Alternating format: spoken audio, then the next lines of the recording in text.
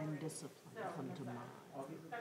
So let's do one. So I think right when you say, um, when when you are you when you mention the series, and then I can say yeah, and, and I'll talk about how it's also a part of the Living Writers series, Okay. and then I'll kind of just talk about the Audre Lorde quote.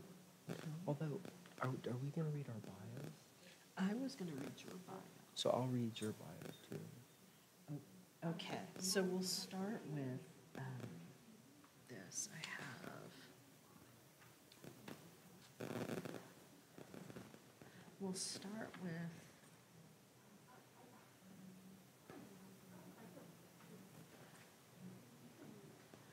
um, This description. Uh, Our first collaborating on discipliner will Dr. um, Dr. Ronaldo V. Wilson, Professor of Creative Writing and Literature at UC Santa Cruz. Dr. Wilson is the author of Narrative of the Life of Brown Boy, and so lists those things. And um, he joins us in the collaboration between uh, SFSU Right. and UC Santa Cruz. And then I'll say something, and, and then once you say that, I'll say, you know, and very happy to introduce Dr. Tonya Foster, who's the interlocutor, but also the kind of, you know, I'll start there and I'll read your bio. I'll talk a little bit about the series and I'll read your bio. Okay, So apparently we have to hold the mics. okay, And I just give you the mic and move the stand, so wait. okay. Okay. No, that's good to know. Oh, I don't remember when it's up, right? So, shall, Test, test, test, test. It's actually better. I know. I'll just make an opening. Yes? Okay. Yes, yes, yes. Yeah, it's better, right? Okay. Are we live streaming? Yep. To YouTube? Hello, everyone. Apologies here for the delay. I'm Steve Dickison at the Poetry Center. And um, I'm just going to give a very, very brief introduction to our guest today um, for this program, Undisciplining the Fields. We have um, Tonya M. Foster here from San Francisco State University. Hey. George and Judy Marcus, Chair in Poetry.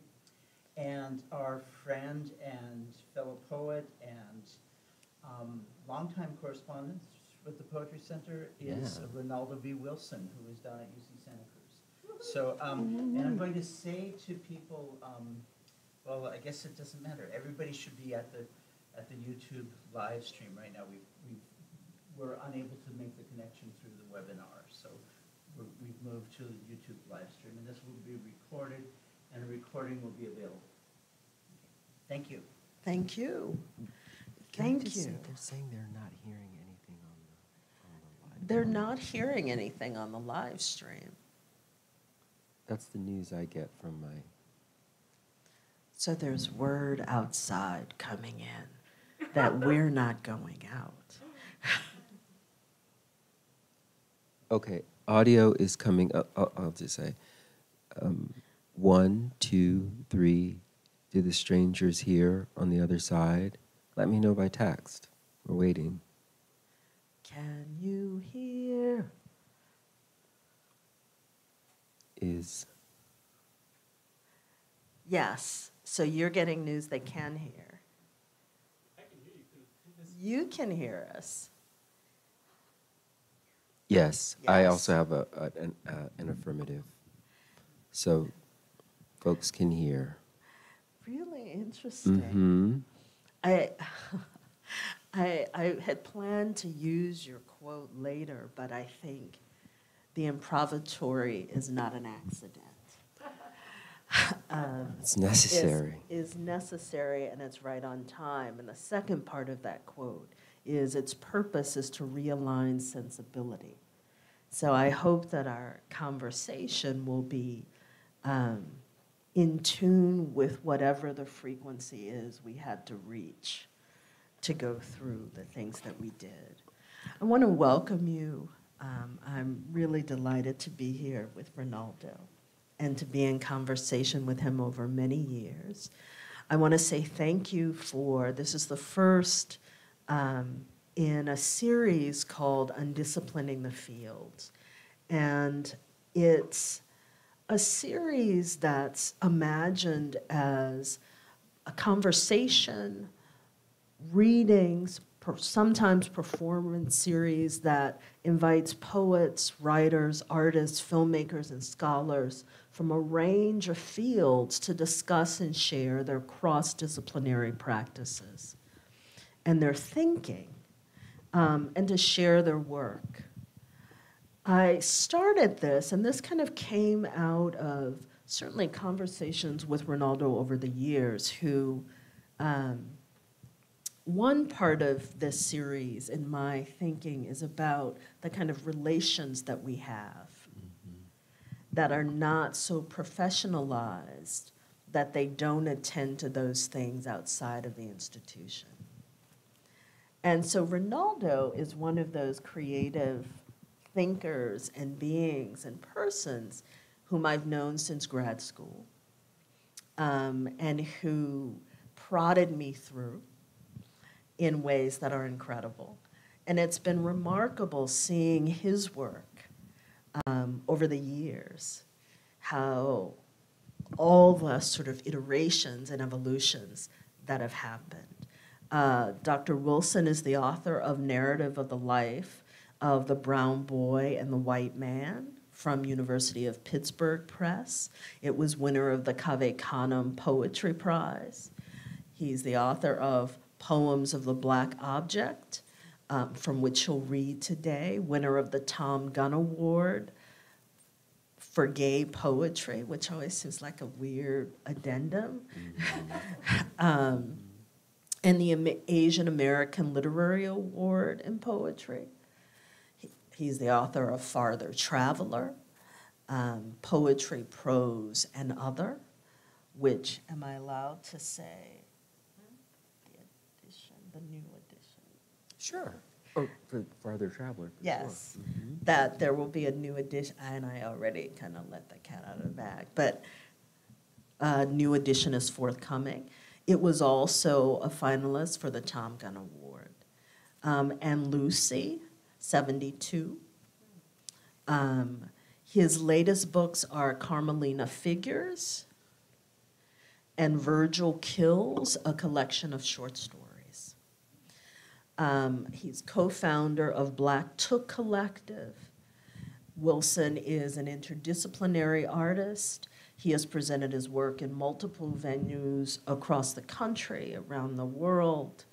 Um, and he is a professor at UC Santa Cruz. And this series is actually done in collaboration with UC Santa Cruz, which has a Living Writer series. Yes, and I'm so excited to be here with Tonya at SFSU. And um, I couldn't be more thrilled to um, imagine with you and to, to, to change the ways in which institutions might bear this kind of conversation. This is also a part of our, our series called the Living Writers series at UC Santa Cruz. And um, the series that I'm curating is called Conversations Power Forged, and perhaps as a kind of corollary to the field study, performance, and recreation or recreation. I'd like to offer what is a hinge for our series. Um, the poet and activist Audre Lorde, who describes that raw and powerful connection from which our power is forged difference is how she describes difference between legacies, institutions, families, embodiments, and homes across race, gender, sexuality, and class. Guests, like I'm a guest here, you're a guest. We're a guest in cyberspace. We're a, a guest in this room, guests with one another, guesting and gusting with one another um, for many, many years. And I think we've always been in a kind of conversation, intense conversations over the years.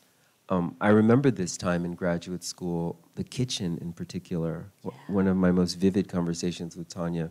We are just starting out, and suddenly I remember I turned my head, and all of a sudden, all of this, I think it was um, V8, spilled on the floor and saturated the, the you know the, the New York Brooklyn apartment. And it was this moment, and I and it was, I was so scared because I, the conversation was so deep, and and that I remember the viscous, you know, sensation there, and I and I knew it was it was having this brilliant friend, but also having a kind of um, the forged power of of both love and fear, and the actual trembling, you know, in the conversation. And I, I think of that um, by way of Tonya Foster's um, bio. Dr. Foster is a poet, essayist, and black feminist scholar. She's the author of A Swarm of Bees in the High Car- Court.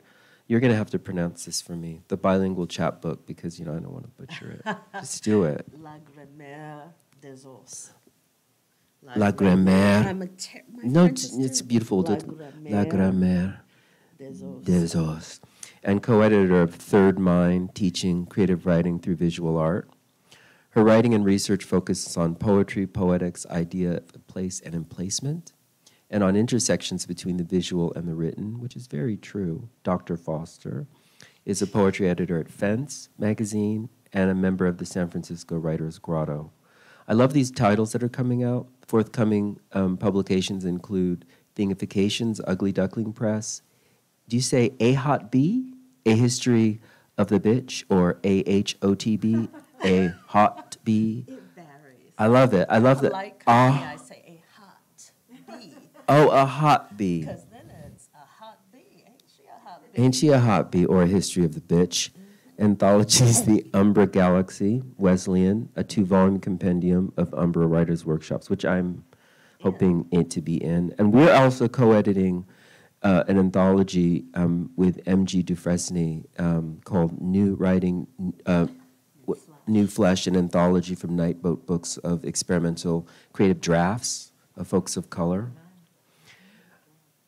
Um, Tonya is a 2021 Lisa Goldberg Fellow at the Radcliffe Institute at Harvard, a Creative Capital awardee and recipient of awards from MacDowell, Headland Center for the Arts, New York Foundation for the Arts, San Francisco Museum of the African Diaspora. No, I want to read them all because I'm so interested in. We were talking about awards earlier. Well, we were talking about who's a couture poet. Yeah. He is a couture poet. There are some poets now, and as opposed to a Walmart poet. I And like- so I was saying, like, what's the distinction? Mm-hmm. Well, there are many people at Walmart who would love couture, but it seems expensive, but it's actually for people at Walmart. Some people, on the other, oh, this is terrible. I can't believe I'm saying this. Well, I am saying it in public. What can I say? I am impolite. Um, but you're such a, a fantastic poet, and one of the one of the many things that came up in class discussion yesterday was how um, you don't turn away from the discomforting.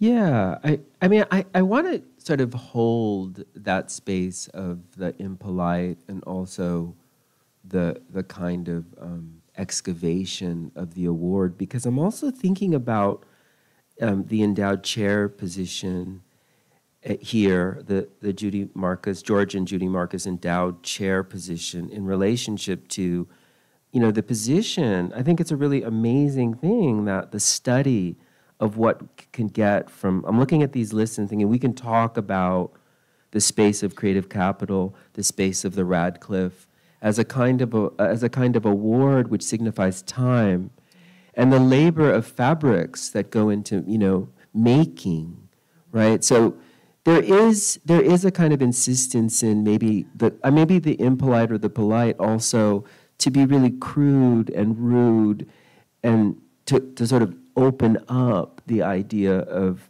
time. And so I, I think maybe You don't let me turn away, do you?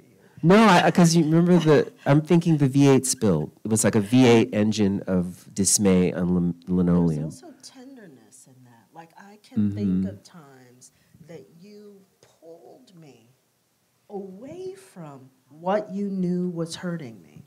Mm. And that it was this incredible kind of tenderness, too. And so it's funny that that I think about the discomfort in your work that that discomfort is about attending to something larger and that even if we look if we look at the the um, you know the V8 spill that there's a sensibility and a sensitivity to feel what all of that all the energy that was in that and around that and that that's apparent in your work Oh, thank you. Thank you for saying that because the word that comes to mind is recognition. Mm-hmm. You know what it means to recognize a fellow traveler working in the business of, of offering, you know, multiple ways of seeing, right? I see you. Maybe, maybe I was pulling myself closer by pulling you away. Maybe I was pulling myself also away, but closer to what? you know, closer to privacy, closer to the quiet. I want to um, intervene um, a bit, and I was so struck. Uh, you know, Tonya visited my advanced poetry workshop, and the students were, of course, you know, stunned and just, you know, in, deeply invested in the thinking. And I, I love this passage in the essay that you sent us from Time, Memory, and Living in Shotgun Houses in the South of the South City of New Orleans. I love this quote because I think it speaks to this um, idea of the kind of approximations of recognition that maybe, you know, promise the award, um, the reward. You write, to listen closely, which is an important part of the poet's shtick, is not so much to sing as it is to reach after song, to reach after the rhythmic worm working through the ear, which is a burrow or borrow, borrow in the mind. Borough and borough, Manhattan, Brooklyn, borough bearing. That's me just saying out loud what the spelling is. In the mind, back to Dr. Foster. That space of the psychological and affective, this space holds sonic and visual and gestural and syntactic residue from what has come before and is part of the constellation of what is at the same time that it portends what may follow.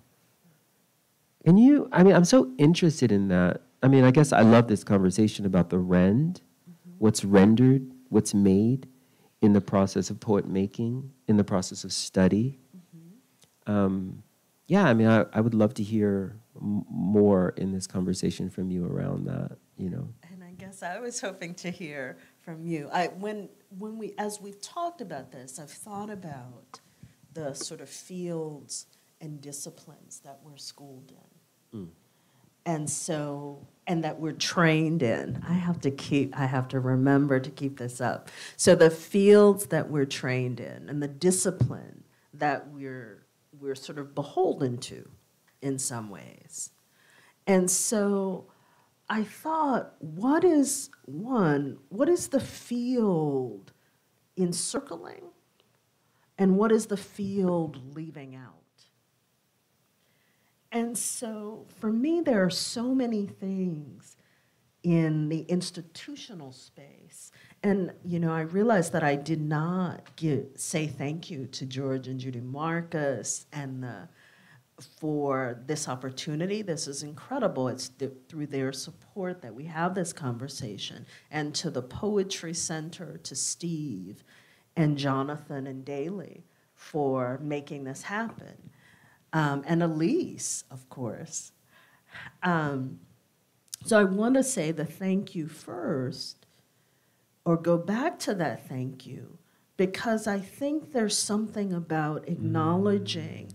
what encircles and makes possible what happens in the space of the field or the discipline or the institution. And so, does that make sense? Mm-hmm. You look like you have a question. Angelina, behind you.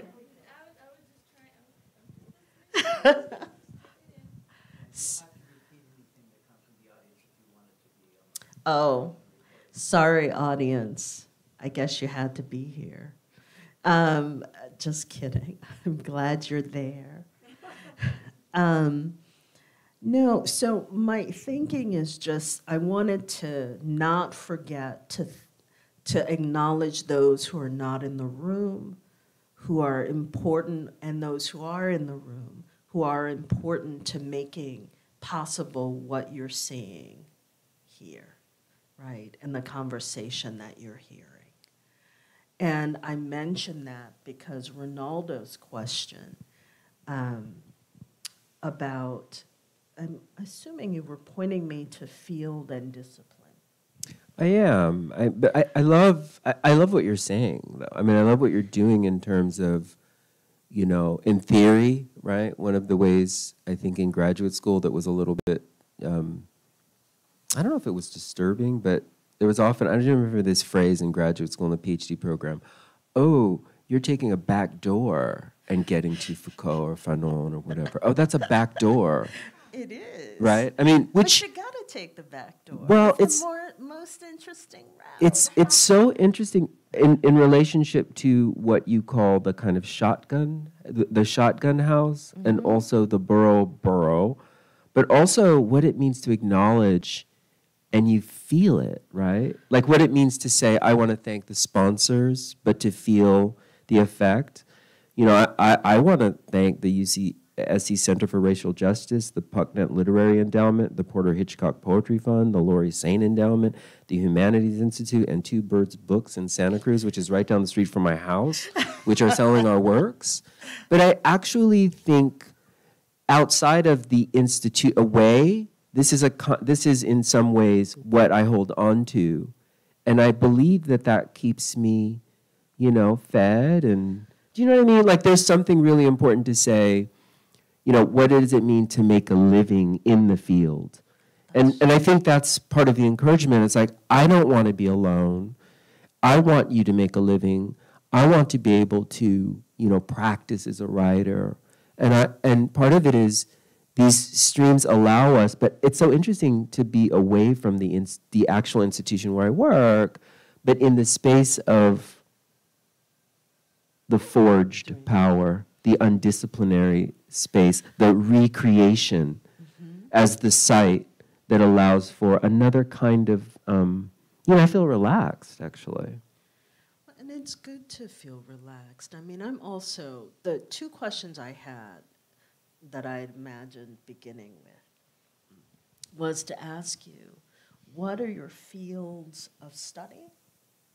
What are your fields of interest? What are your fields of work? And what comes to mind when you think of discipline? Well, it's a good question. It's a very good question because I will say the field I'm most concerned right now with right now, and I have to thank my colleague in in feminist studies, Gina Athena Ulysse, who is a, a gorgeous artist um, who works in performance and also anthropology as a discipline. Um, she responded this way when I told her that my mother's response to my father's um, recent passing was to rip up our lawn and to begin to farm. I mean, it's it's the size of this. She's eight. Well, if you're not looking, the room is probably it's pretty big. What, you, what what are the dimensions of this room? I would imagine. Can we just get a dimension? 45. Yeah, it's about maybe forty by forty. It's is that right? It's a it's a fairly you know imagine a kind of uh, you know a nice size ratio. My mother is probably like a mouse on a coffee table, right? And in that scale, a middle sized coffee table. You know, like a. And in that space, she, with a pitchfork and a knife, turned the soil over and began to plant tomatoes, you know, what through the summer, and it just blossomed. And it was very interesting because all of the family came to pick. She would say, my mother would still say, "Oh, get out there and work." And we're all working at all ages, little kids, old men, middle. You know, we're all like getting our, well, you know, getting our. And I just remember my my feeling in that field was just to take photographs, and then to begin to paint and work and witness that field because the formation of that field that to me is the sort of actual shotgun digging, sort of squirreling away, theorizing at how do I deal with larger questions? Exile, loss. I'm saying exile. My mother's from the Philippines. Um, she left the Philippines. She married a black man, which didn't really sit well with her family in the Philippines. It was very, quite violent, so she left them all behind. But what does it mean to to to farm or parm? And I just thought, let me keep working with this. Let me keep working with this, and also the sort of genius of of my mother at 84 years old to bring everyone home. And for us, and then we thought it was over at when, when harvest was over, right? But my mother's like, I'm going to get that garden. I'm going to make this garden. So her impulse was now she has her fall vegetables. We go shopping at the, you know, we go shop. So field, I photograph everything my mother's doing. She's so interesting. All the angles, all, and I paint her hands, and I paint my hands, and I paint us in this world. I'm, I'm interested. One field is the excavation of the family portrait. So I'm working on a series of portraits that move through these very questions. And I think maybe that's ultimately what I've invested in. And, you know, obviously I'm influenced by many people, you among, but I think a kind of akin writer to you is Gwendolyn Brooks. So I think for me, Gwendolyn Brooks's portraiture, sense of poetry is a portrait, portrait, I'd say even a painter. She's very painterly. Mm-hmm. That in, the relationship with that work as a poet, almost, I don't know, what is the word? I farm. I farm texts now. And I wouldn't have known that as I talked about my mother from I'm farming, I'm digging through the work. I don't get to read all the time. Sometimes I weep at the text, sometimes it's hard, but I just feel what I'm reading. And what I'm reading, I'm making, I'm trying to figure out how do I communicate back to the other side that is, I think, between, um, you know, between heaven and earth or below earth and above heaven, right? I'm interested in that, which is, you know, the, which is why Walmart's a difficult place for Ronaldo V. Wilson to exist, because it's, it's, a box store. It's too difficult, right? I mean, but I think it's too big for me to figure out where I'm going. Um, there's such particularity in your work and such attention to the body, to the body in place, in space, in relation to others that that's also the kind of miraculous beauty. And not just beauty, because I, I often think that beauty seems like a cheap word, right? Um, in part because we don't consider the difficulty of beauty. Mm-hmm. And part of what, what you just did with the question of what is your field of study is you talked about the lived density of your experience and how it is. I, I'm, I'm the only word I, that comes up for me at the moment is translated, but I actually don't think it's a translation. I think it's a transmutation. And it's that transmutation of that experience into something else that has its own life that seems central to the work of the artist and central to your work as an artist. I mean, I've started trying, and this isn't on, but there are these incredible drawings you sent me and sketches. And um, I think of how these drawings move between, there's certainly the portrait that comes up, but then there are the gestures that are sort of more pronounced almost capturing a gesture, and the, even the gesture of drawing is a part of it. Um, and in the poems as well, there's that sense of really, God, I think bodies, you said what's below and above, but it's also bodies of language, mm-hmm. uh, bodies in terms of formal strategies in the work, um, there's so much of that kind of transmutation happening. Yeah, I mean, I, is there a way to to show any images? And I don't know. I want to make sure because I think it's it might be important if we're talking about images to to have them, right? We don't have to be shy, and you know, I'm I'm wondering if if the folks in YouTube land can see images. I'm just gonna. Can Okay.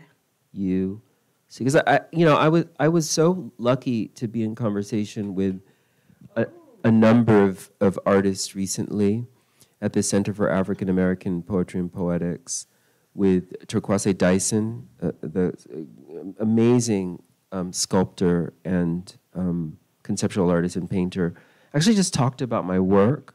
I worked on a series of drawings. She worked in poetry, um, and the sound artists Mendi and Keith Obadike, and also and Dawn curated it. But it was this question around close reading of the emergency. I would say, just in terms of Torkwase Dyson and, and my work, was just to kind of, she just said, look, just draw. Because, you know, she's been a, you know, I've had teachers, I would say, that I'm just trying to think of how to bring it back to this idea of, of, of form and formal practice. And I would say that there's something around the invitation. I keep going back to what it means to pull one aside.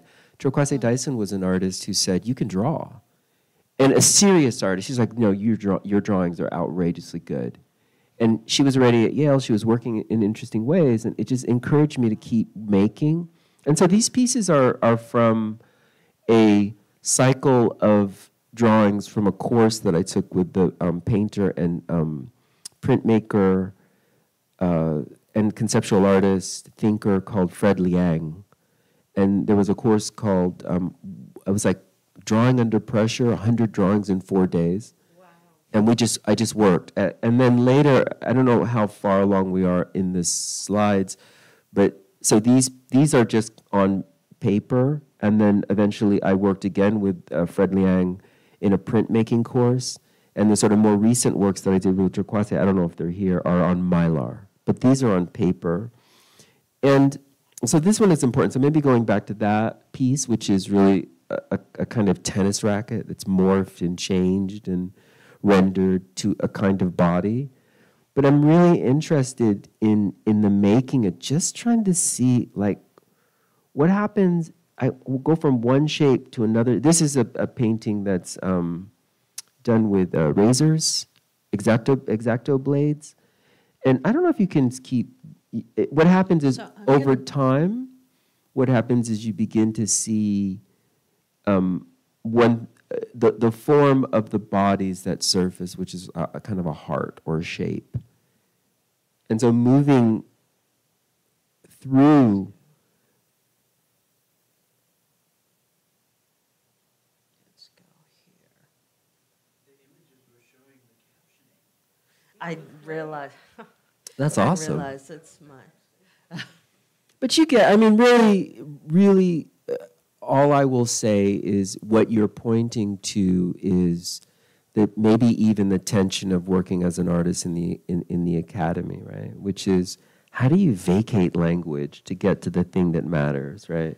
I mean, both of us are toggling between a kind of profession of working in theory, you know, mm-hmm. cultural studies, that type of thing, but also making art and the density of quiet and the density of of a kind of maximal field making you know i'm interested in completely getting away from it all and getting back into it all to make to make fine art. Like i just make liking i love making fine beautiful fine work and i need a lot of quiet to do it. Like these are hard sketches these are like my my baby my brother who was my older brother but suddenly i'm drawing him as a baby and then it looks like me as a baby and i'm like oh okay and then maybe my, he's a bee and like, how do i get to the bee drawing? And you know what are the ways that i can kind of keep rendering? And then what is it about this sort of tube? Now this is interesting because this is a composite of a niece that suddenly reminded me of your girl here wangechi mutu's work and one thing I learned from this, when I saw that, I realized, okay, I'm not in control of the work. And this is where I'll end, right? This part of the answer to the question is at some point, you're not in control of what emerges in visual art because you're playing around with spirit and spirit life. It's not, the, because these are figures. And then you have to pay attention to these, these figures. And these figures are what someone like Torkwase Dyson's like, okay, I like that smudge. I like that face follow. And Fred Liang, follow that shape, follow that. Um, So for me to have these relationships with fine artists who are dedicated to the smudge, the line, the blur, it complicates my relationship to poetry. How? How so? I think it I think it gives me the, the sort of flexibility to say, you know, what really matters is not the, the tyranny of representation or the tyranny of form, but rather the tearing into it to make up the distance between, you know, I think about Audre Lorde's The Marvelous Arithmetics of Distance, mm-hmm. the sort of rigor of creating the, all, of the moves that say, I am, to go back to NourbeSe Philip, like, I'm human. I mm-hmm. experiment, you know. And so the mechanisms, I, you know, I'm interested in, you know, I know why you like it when, when I I, could imagine, because of, of her attention to material, mm-hmm. her attention to home, place, Nairobi as a figure, her attention to um, commitments to touching, but also deep commitments to the field, not only in art making, but also in the field of what's possible between video. You're working multimodally too, in performance, in video. Your poems, I think, are, you know, have a kind of paraperformative um, fissure that's always running through it. It's open, they're capacious, they're precise. Mm-hmm. I mean, it's wonderful for the work. I'm, I'm immediately thinking it would be great if you could read from um, the Dream, what's it?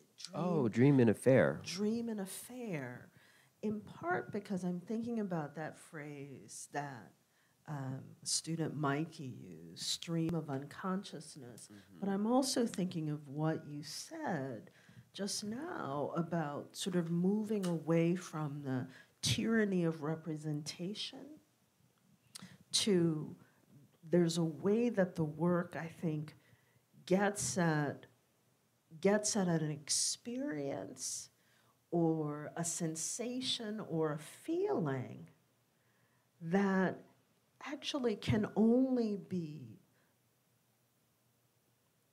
touched or felt through the formal practice that the poem enacts. Right? And that the poem becomes a body that does not otherwise exist. And it's not just representing bodies in the world as we know it, but it's representing that space between that distance, that distance, those distances we traverse. And so that's also part of what the experience for me of seeing your, your visual work as well. That it is, it's almost like this, like snapshot isn't quite it either. It's, it's, it's a flash, a flash of the spirit, mm-hmm. right? That mm-hmm. flash of mm-hmm. encounter, that flash of something that is captured in the, in the time space continuum of the paper or the paper or the voice.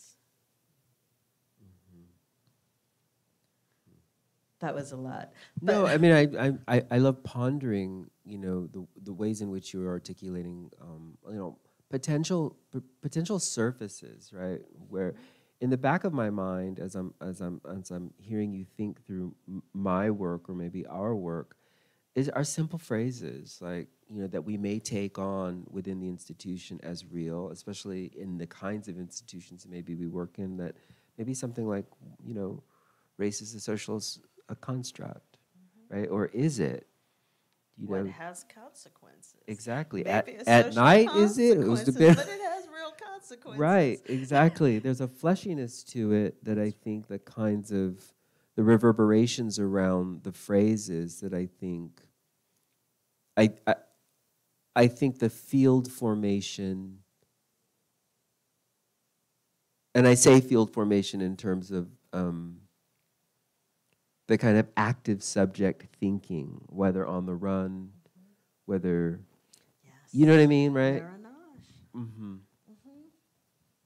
So I'm going to read a little bit of this poem called "Dream and Affair," which was actually an important poem for me in in um, poems of the Black Object. It was very freeing for me to work in this form, I'll read it to the sound of the skateboards, the trucks. Dream in a fair. Nellie Oleson's father is my brother. We're on a ship, a cruise, a tall one overlooking a parade. There is no water, although there is a street where a white pony jumps up on the hips of a clown. Since the horse is on a leash, it gets snagged and dragged to the floor. The horse is wet, its mane in the mud, and everyone laughs and cheers at its snag and drag. Alberto is in the dream. We never hang out, but he's on the deck looking out at the street. We're asked to move, but we won't. The MC wants us to be in it, to sit in a pink pod. I wanted to stay put and look out from the couch on a cement balcony. There is a black man standing at the front of the line. He's a midget, and his teeth are yellow and gapped. He is short and muscular, but covers his body anyway with a costume. He's about to proceed as a dragon or a horse, something where only his black feet extend from the mane. You look up at a counter where a big, bald black, who is your brother, lets you cut in front of the line. You order turkey on a plate with potatoes, a cup of water. In the dream, you are shadowed by time. Maybe you are out of time when you encourage Ms. Oleson to buy a book. Mr. Oleson wants no part of the book, but you look at the slim stacks of 20s in his wallet and you are turned on that he is your protector too. You say, that book will be worth something in the future. Maybe it is that future you are rendering in the dream. In that present, you skip the line and look up at his face to see your big, bald, black brother now on a bench. He describes on the phone where he's going. He says, I've never been this far. And you want to say, What do you mean you've never been this far? Do you mean north or east? It is then you realize he has no sense of direction. It kind of goes on around that in that vein. So can I ask, what about that? What was transformative for you? What was the release that that writing this poem and writing in this way? Again, was for you? no, no. Again, again, practice. Again, consenting to. You know, I'm just going to really be attentive to my dreams over time. At a rough time, maybe graduate school, between, you know, books, between jobs, between you know all kinds of things, East West Coast, but just being attentive to just cataloging these dreams and and the kind of confidence. I was reading Gwendolyn Brooks at the time. Uh, I wrote a dissertation around um, was sort of the center point was Gwendolyn Brooks um, in thinking about Gwendolyn Brooks in relationship as a um, kind of primary figure through which to think about visual art culture, soon to be coming as a critical volume. But it's taken me so long. You know, this is, I was doing this work in 2000 or so. But, But- it's taken time for the world to catch up with you, where Gwendolyn Brooks is concerned. Yeah, it, I, am just getting glimpses, getting glimpses of, of, of what it means to, you know, really sit with confidence. And, you know, I think it's a report from part two, maybe one, the, the introductions to um, readers. She has these beautiful, pithy introductions to writers that are sometimes like maybe two or three sentences long. And I remember a recurring phrase in, in, in it's a poet with, you know, so like Stanley Kunitz is a poet with confidence. And I just remember thinking that, like, wow, what does it mean to have confidence? And I started to imagine what it might mean to have confidence as a poet in the material of the unconscious, mm-hmm. of the dream life, because my dreams are banging. I mean, I have like a rich, I have a rich life. And again, it's like the drawings, like I don't know where it comes from, but the only thing I can do is try to capture that. You know, it's like it's like a free stream cargo that's coming from my own history of being precious cargo. that it takes a certain kind of confidence or sense of self to believe that somehow your dreams matter, right? Yes. And that they're the things to attend to, or even that the sort of day to dailiness of one's life is sufficient material to reflect on. And that's a hard, it seems to me that's a very um, remarkable space to be in, and that maybe it's related. Now, this is, who Hmm. knows where this thought is going, but I, I think about the idea of being couture versus Walmart, right? And that the expectation is that the couture is always desirable, Mm. right? But the Walmart can be tossed aside. And so, what happens if we had a, a sense of life that imagined that all life was couture? Mhm. And so, that deep attention and that tender care that the poet has to pay um, was sort of a strategy for how to live ethically, actually. Yeah, that's exactly right. What do you do with um, one's training? Absolutely. Right. What do you do with, you know, unconscious? Uh, consciously, you know that there are effects, right? I mean, there are effects, and you say, as you say, there are true. There are consequences.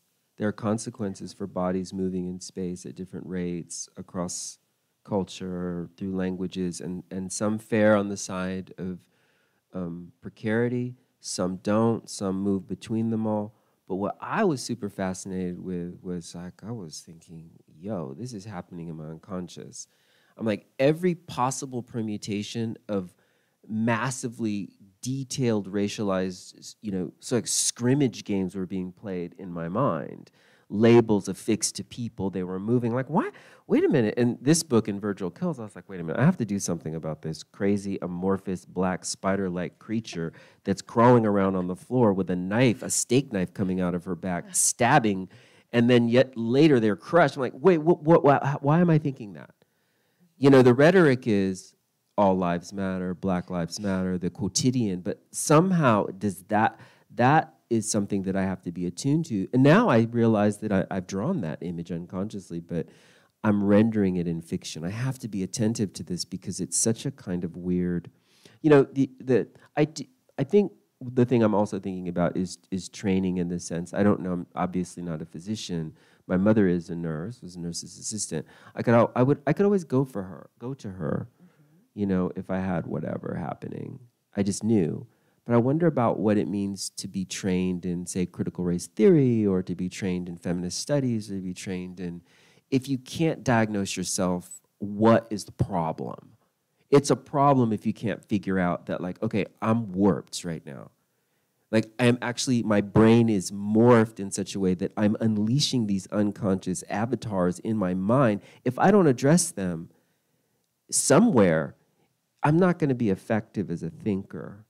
And also, it's much more interesting in this way to communicate the kind of um, the sort of unconscious stream. See, that's the confidence from your mom who turns the the yard, the space into a farm, and from your father who was in the military. That's true. That's the confidence to be able to do that because actually, many of us, and this is a, a, a Just video. playing at the beach. I mean, you know, it's like, what am I going to do in the day, right? I have to figure out a way to write. I, I found this paper. I was working in, you know, um, I was working in Sharpies on this paper from India, this kind of parchment paper that I found in the studio, and it came alive when it was wet. It just became almost fluorescent because of the. But I wouldn't have never known unless I was working in printmaking and had to work in these sort of non-water soluble pieces. But that's just stunning, and that's interesting. It's compelling, and then that piece of paper becomes part of a collage, and, and those are actually I'm washing these strange microaggressions that happen. I mean, they're really fun microaggressions for me. Hey, they're really fun microaggressions because I was actually swimming in Provincetown, this wide swath, and swimming, and there was some white person, man, you know, swimming, and said to me, you know, uh, something like, "You're in the way. This is ocean is too small." And I I don't even know what he said, but it was like he would not move, and we're both swimming along the shore. I'm swimming. He's he's I know, and he was like. You know, can't you see anyone else? And I just stopped and I just read him so hard, and I had the camera going. And so I have video of him, but I realized I want to write down the phrase. I don't know it now because I let go of it because otherwise it's a toxic thing.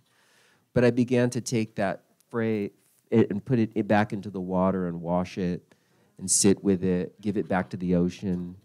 And see, that's careful attention. Yeah, I was mean, there every day. it's also following not only the fields of study that you're told, okay, these are the valuable field, fields, these are the things to attend to, that you're able to say, huh, this leads my, this piques my interest.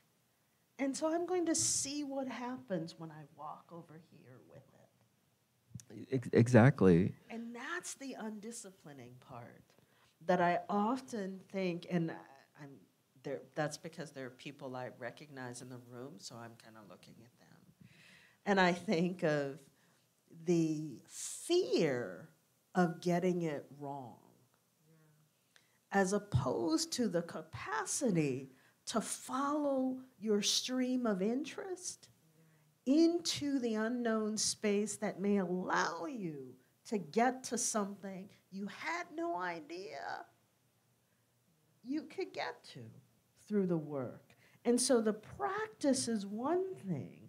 I mean, there's that, what, the Pushkin quote um, inspiration will not be sought, it must itself find the poet. And so, in the meantime, the poet practices, does different things, tries different things, and comes to something else. And that's the improvisatory capacity that you show in the film, that you show in your work. Um, and that becomes about, I love that quote the improvisatory is not an accident. No, it's a lot. I mean, you know, those are also the deceptive thing is, you know, working in visual art and performance, I am so out of time. So if I'm working on on, a, on the set, right, of my imaginary world of making, I mean, I will I will be out in that field on the beach for 12 hours. And to the point where I'll start sketching, I'll make video, I'll move again. I, someone might try to talk to me. It'll be night, it'll get dark, I'll come back. I, but just, I'm committed to all of the things that could be, in a way, healthy, but also kind of, I have to watch it, right? Because I'm swimming and I'm filming, I'm trying to move cameras around, I'm trying to write, I'm drawing, but I'm committed to saying, you know, and I mean, also here's the thing: there are people I think through. William Kentridge. I'm very interested in William Kentridge's process as a, as a wanderer, he, as a kind of someone who moves and paces in the studio. I'm also inspired by um, Adrian Piper's um, um, practice of a long-term practice, but particularly sort of the conceptual art practices of, of the 70s, of moving through cities of mantras. I'm, I'm interested in um, the commitments to um, Guillermo Gomez Peña's work. I mean, I studied their work really close. I think about all the time. And I work, and I realize I think one of the reasons why I have um, a, a legible art practice is because I look really closely at all of Kara Walker's work, all of it. I mean, deeply sat in, in museums as a graduate student. I remember it was like the Greater New York show. I'm like, I'm just gonna lay down in the middle and just like, you know, get these things, get get this work, get and just figure out what's happening. I had this really nice shirt on. I was like, I'm ruining this shirt, but I, I you know, it was it was too. You weren't supposed to sweat in it, but I Nobody was, told you to move? I no, but you know exactly right. This is the thing around no, but I come armed, you know, to the teeth in in in these situations with enough enough to send out the warning signs, right? A Bruno Magli loafer, you know, a a, a, a two thousand dollar camera, you know, um, you know, a vintage Barney's jacket. People know. They You know. have to have props. Well, it's also like ve- it's like a you know it's like a venomous spider, right? If you're gonna bite into that, you're not even gonna try to beat that down because you know it's the warning signs are are are, are they're they're tell they're not violent. They're they're enough to say, oh, you're gonna a, a tripod in space. I'm telling you, I've gotten to so many places. Tripod camera. Oh, are you working? What do you? do? No problem. And and I, and I think that that's a part of play. My, my performance practice is also playing around with swimming, even even stroke technique. If I'm swimming on the beach and doing IMs, which butter back free, straight up butterfly, who's please? Do you actually think someone's gonna be like, oh, stop swimming? I'm like, oh yeah, okay, excuse me. It's so intimidating. It's intimidating. If you see me at the tennis court, I'm hitting inside out serves on the tee that are kicking out wide. I mean, I know how to do that because my father and mother taught me that. That's the home training. That home training is like, oh, he's not just practic- practicing a serve, he's ripping down the tee, and that ball is doing the weirdest thing because I know about torque. I know about those things. My parents were teaching me that. And that is the, I get so excited about it because it's like you don't really have to do any work, but you have to do the work. But you do, that's a You know what I lot mean? of energy. That is work. It's a lot of energy, but it's not, it's, it's, it's, it's, um, it's self care in a way. It's also interesting that the home training, when I think of navigating the professional space, that there become these ways that the multiple kinds of training are necessary to survive in multiple spaces. Yeah, let's talk about that. Uh, let's keep talking about what it means to survive in these spaces and to borrow NourbeSe's, keep thinking about NourbeSe Philip, keep thinking about thriving, you know, and, and enduring and endurance and enduring freedom. I mean, there is something very particular about the endurance project, the kind of time based work, um, as someone who's concerned with questions of spectacle, being seen, to bring multiple cameras when you know. Because when it gets popped off, I- I'm recording, but it's so interesting the people that interrupt when you, I'm doing performance piece. It's actually outrageously, it's fascinating. Well, I think about the guy on the beach, and I think about Du Bois. Yes. That there's a way in which we are always, certain of us are always imagined as a spectacle. Mm-hmm.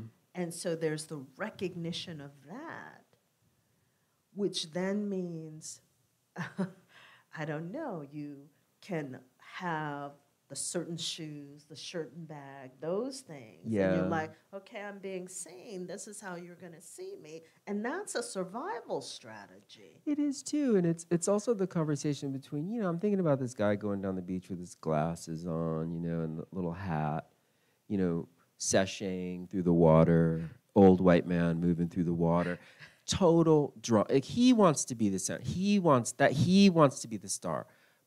That's not going to happen when Ronaldo Wilson's in town.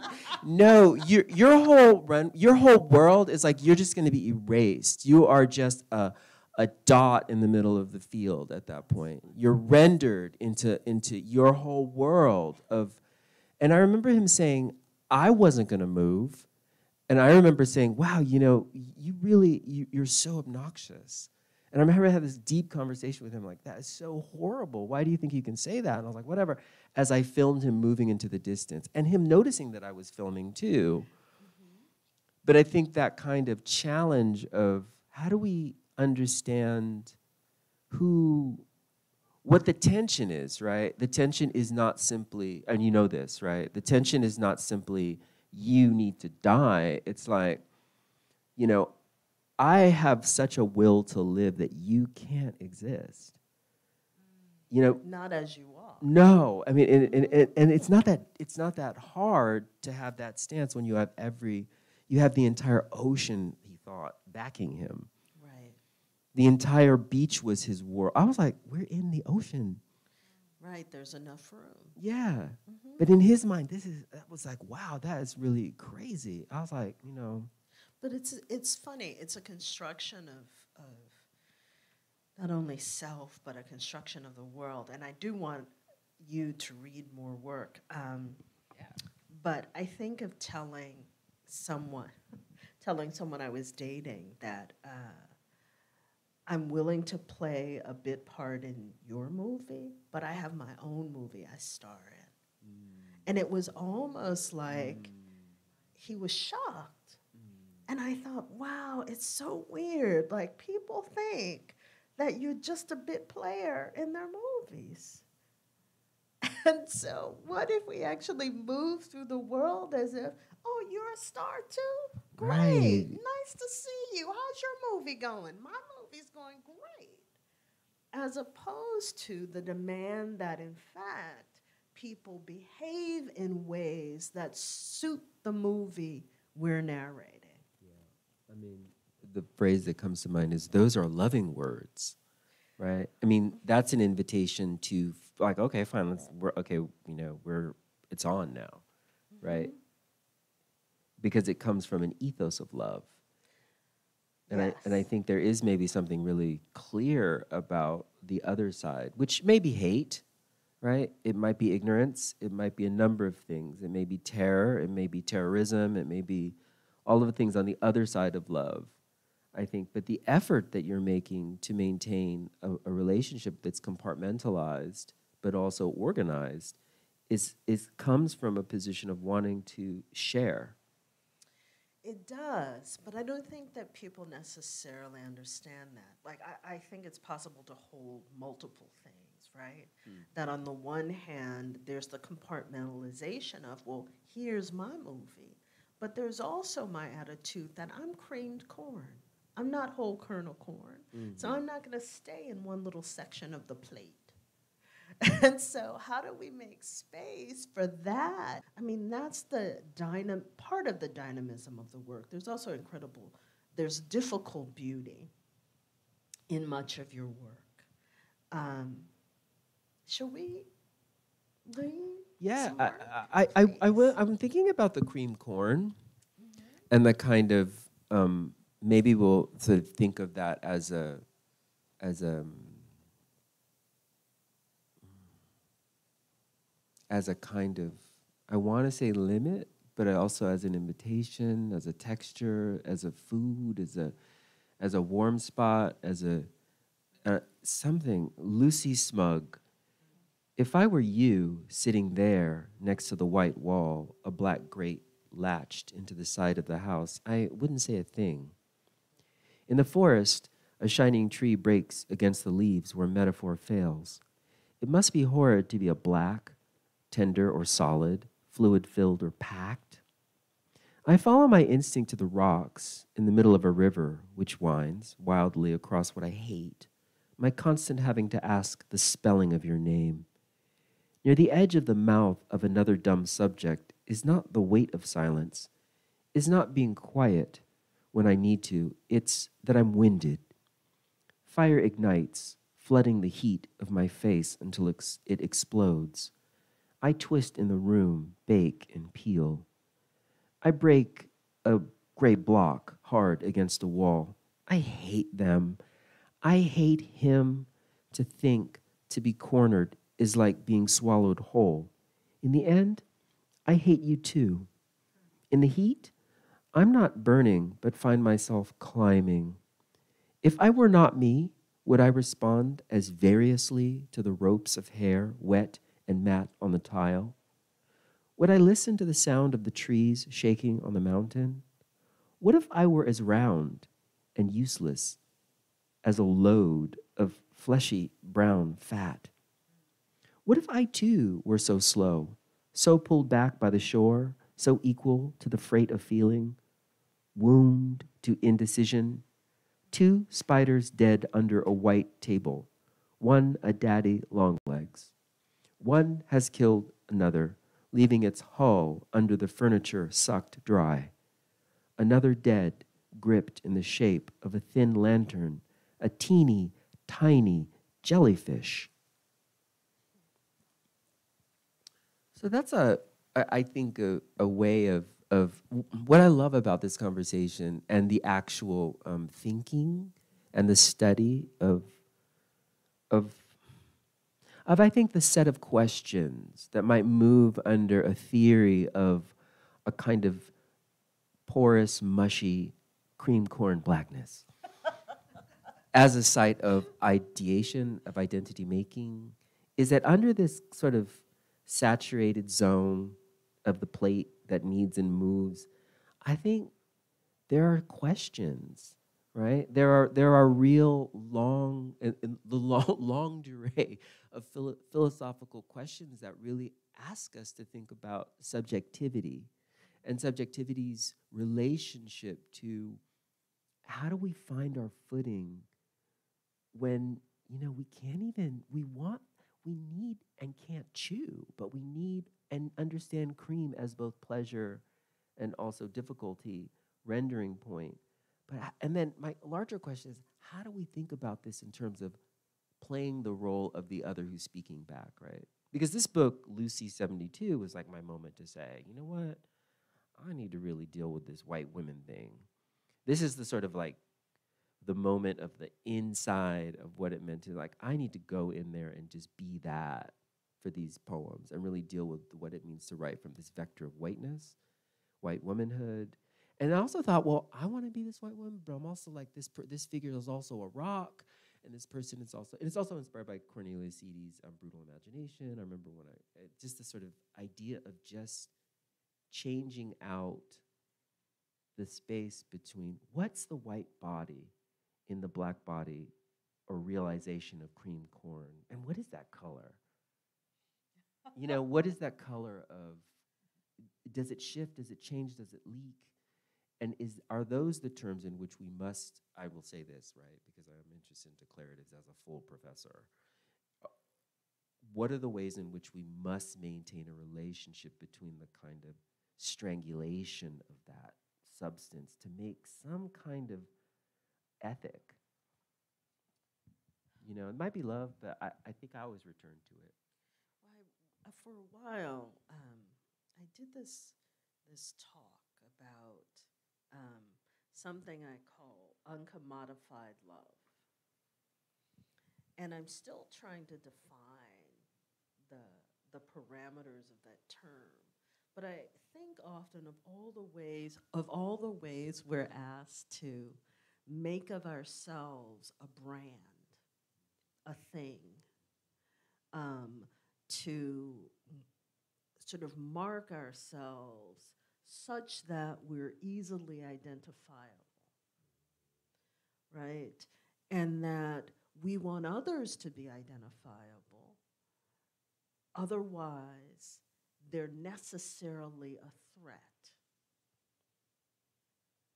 So, I mean, this, this is old. What? Edward Glissant's argument that everyone has the right to opacity.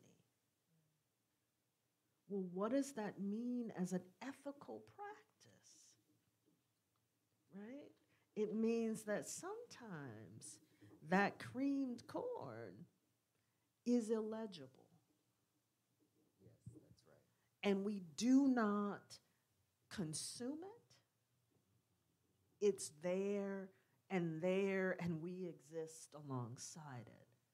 And it's not about toleration, because we actually have each of us and us together have levels and aspects of the self or of selves that are opaque that are not transparent and not to be seen. And maybe that's okay. In fact, maybe it's necessary. It's you know I I think. Mm, what is you didn't say unconditional. I no- said non- uncommodified uncommodified, love. uncommodified, right? And that's a hard thing. Like we were talking about the awards we've won as identifying, and in some ways, that's a thingification of us. And yet, those awards, like I don't have a trust fund, those awards make it possible for me to have time to write. It makes it possible for me to have time to think. It makes it possible for me to be in community and in conversation and to live a life not only of the mind, because I often think that the notion of the life of the mind is not actually about considering the actions that can be taken and undertaking action that allows us to exist differently together. That's what I'm in it for. Like, I think there are ways that writing gives us some insight. Oh, no. Insight is the wrong, is, is not quite accurate. But maybe it's a, a, a space in which to practice, in which to play at how to be. Um, yeah. Yeah, I, I, what I love in in terms of the way that you're talking about are just really the clarity of your commitment to a sort of uncompromising relationship to, you know, what it takes to operate in the space of illegibility. You know, something came up in my poetry class today, which was a curious, I won't say because it's, it's a private workshop, but I will give you the sort of parameters of the discussion. It had to do with this question of translation and folks working in languages. I won't even say the language because that might be too, but let's just say what, what I was most struck with was the urgency of, of the self, legibility, nation, and risk, accuracy, all of these things. And I was thinking, you know, we're making art. All the mishearings and all the arguments are part of life. The illegibility is also the place between knowing and not knowing, which is part of learning a language or not learning a language and to resist. But this notion of mastery has a lot of repercussions. And I love Kerry James's Marshall's mastery apostrophe with mastery, you know, that kind of he respells it. And the, the apostrophe is this moment which makes you think about, you know, what are we attempting to learn and convey, if not the this sort of map that says, I mean, I'm really I love this ending of your your bio. This I, I guess I can say it because it's your bio, but I love. She is a new resident in a decades-old Emeryville Artist Cooperative. I thought, what a fantastic way to end a bio. I also make a great citrus pound cake and a fantastic gumbo and red beans and rice. And I'm very, and I have three miraculous sisters. So I love that because I think those are all awards or, or, rewards or moving into the space of opening up what's possible in the ways that we are legible in in other ways that move us just slightly outside of the contract but still allow us to you know remain i always think about camouflage i think about you know working in um, that that the piece of writing or the piece of thinking or the, the visual art is always a kind of dynamic space for both interrogation and inquiry, mm-hmm. right? Like sort of the moving through the line and the moving through the sentence is, I think, it's it's necessitated maybe what we're maybe both talking about is the living being and also the need to recognize to make something as concrete as a book that somehow represents the, the static object, but it, it's doing a kind of that dance. Mm-hmm. And, and those commitments are, what are they? They are unrecognizable by certain award streams, I'd say intentionally for me. Mm-hmm. You know, I don't, I don't, I would, I don't know, think I would die. That's being exaggerating, right? I would be very upset if someone said, hey, Ronaldo, please come come to my uni- uh, no no no um, no no shade on someone who is working in poetry but for me it's dissatisfying to go on a trip and say hey ronaldo will you come as a poet and talk about your poetry now i'm super excited about it, it as i say it but I, I never wanted that i never wanted to be recognized as that figure or oh would you come as a scholar and i'm like mm. but now i'm interested in it because I have a number of, of works that move enough to be slippery. But as I was writing as a younger person, I just never wanted that. I will always say the wrong thing intentionally or do the worst thing at a reading or but it always turned out in some ways to get to that mm-hmm. space of the kind of domestic um, rendering field work. Mm-hmm.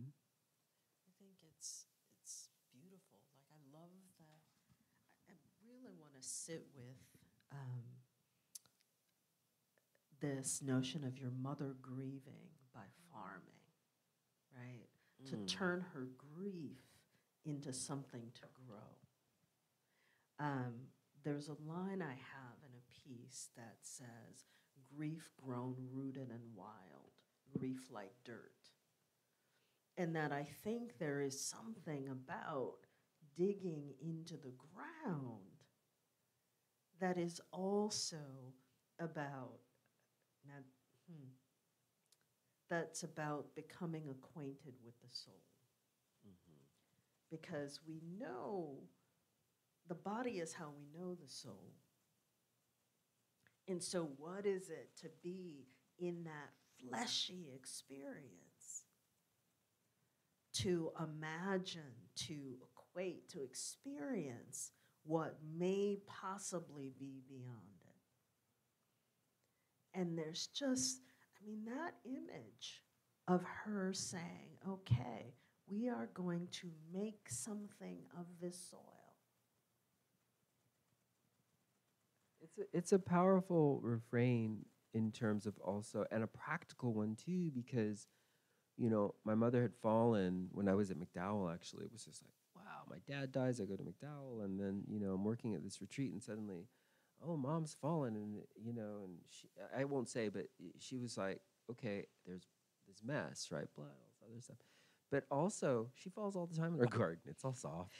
She's like, oh, I'm falling. Here I go. I'm ma-" it's like making, you know, and to be aware. And I would say too that my mother, in some, in many ways, my father, uh, uh, my mother in particular, was a, a, a is an artist. You know, in many ways, in building and making, but also her relationship to life is so tied to this making. I'm always reminded of of of threshold. There's always one more kind of layer. Um, and again, you know, as, this is what I think about with my students, and you know, in the teaching of poetry is like, in, in creative writing or art making is like, what is your relationship to, you know, to your family who's touched you first? Like that's really what ultimately, maybe.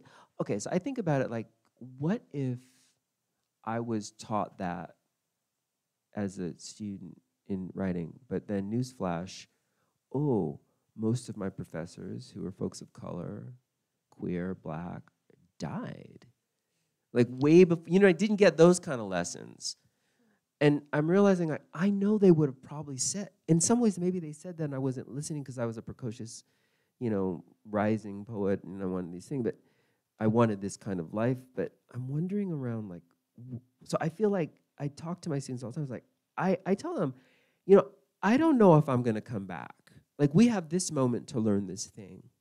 I don't I don't know if you know, I get on planes, you move around. Like you may not, I may not return.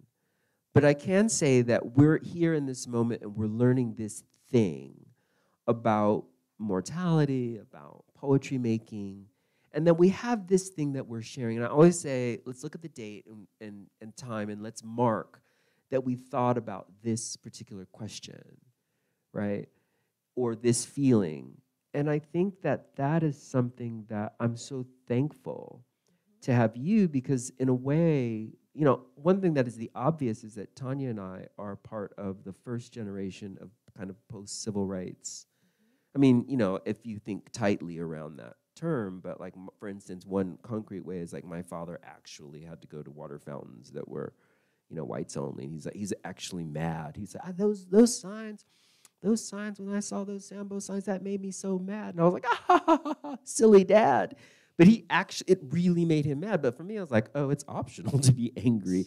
I'm gonna, you know, it, it wasn't like a thing, right? But I think about what it means to just that little step. That's, and how much wisdom that I think, either consciously or unconsciously, it the, the sort of you know i don't know. I, i'm just thinking out loud right? I don't think of myself as an old person but i do wonder about what it means to kind of care for other people as, a, as an artist and, and, and to care for one another but to also think about what are the things that we're going to what are the sensibilities that we're going to pass along which is a, an adjacency to what is um, maybe this is the question you're asking around what is your f- concern with the field as opposed to what is your concern to the what, what is your commitments to the theoretical intervention which leads to a body of scholarship? When actually i associate bodies of scholarship with a phalanx of teachers just died way too early 56 i'm always shocked barbara christian 57 you know what i mean? Like i'm like whoa. Or just just that reminder of, of of of who's coming in and who's coming out. And then and then to just stop for a little while and say okay we have one another but we also have the potential to say hey wait a minute. I don't ever remember June Jordan was my teacher and i remember when when i met her you know, for this poetry for the people. We were uh, i said june how are you doing she's like ronaldo i haven't slept for three days and i remember thinking okay, there are times I sleep very little, but I know that I get a few hours of sleep.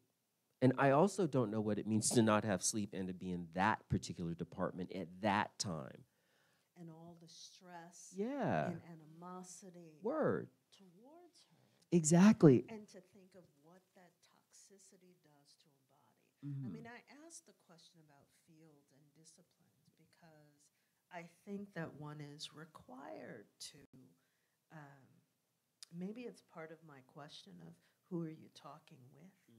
That that's always my question for myself, and that I cannot imagine that only people within the the sort of parameters of the institution are the people I'm in conversation with.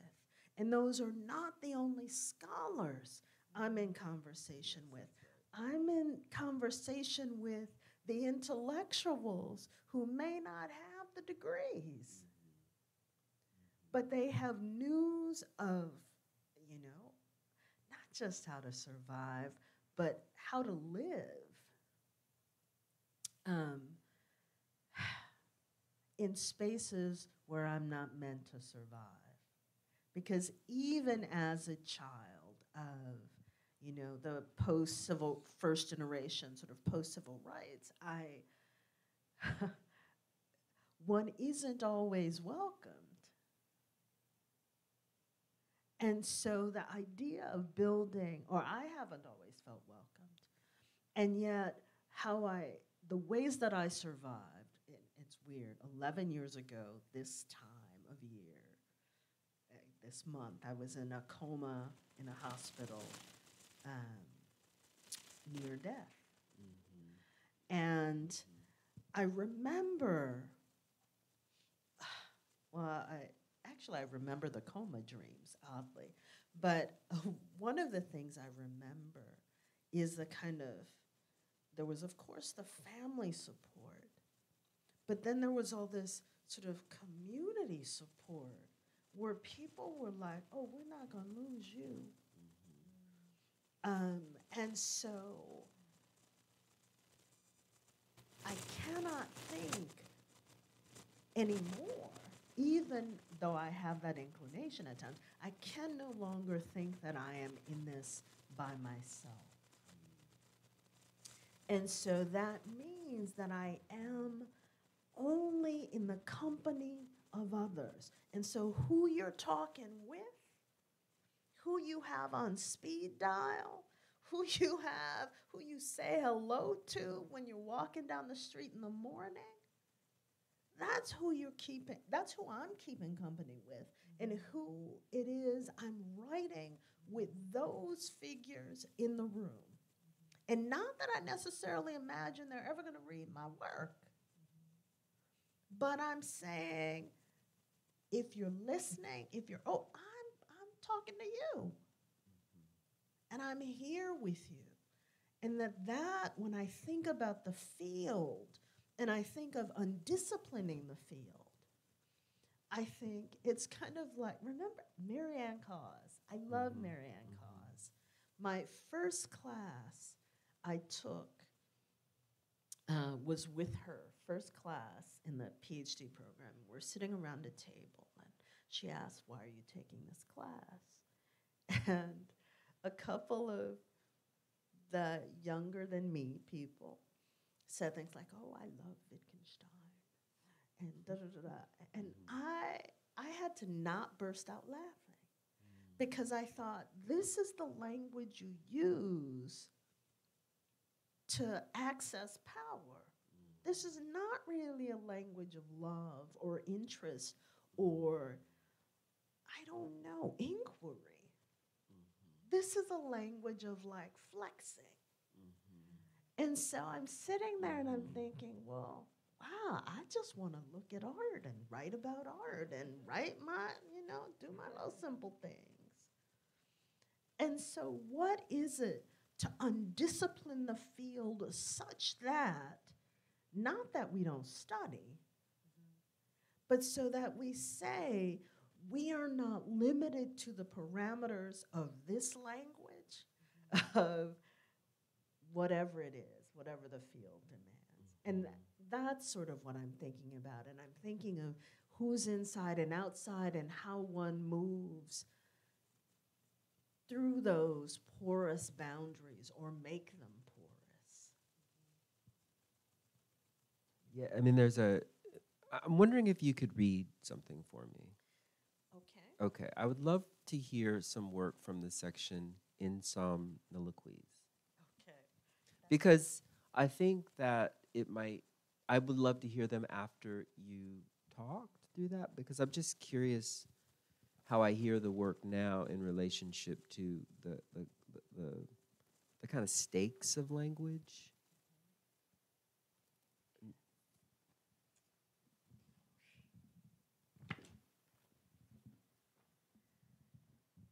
In Somniloquies. Earthworms aren't maggots. Eating them ain't planting a tree or a flag. She wants to shout at her TV when some Sioux gulps earthworms from a cup.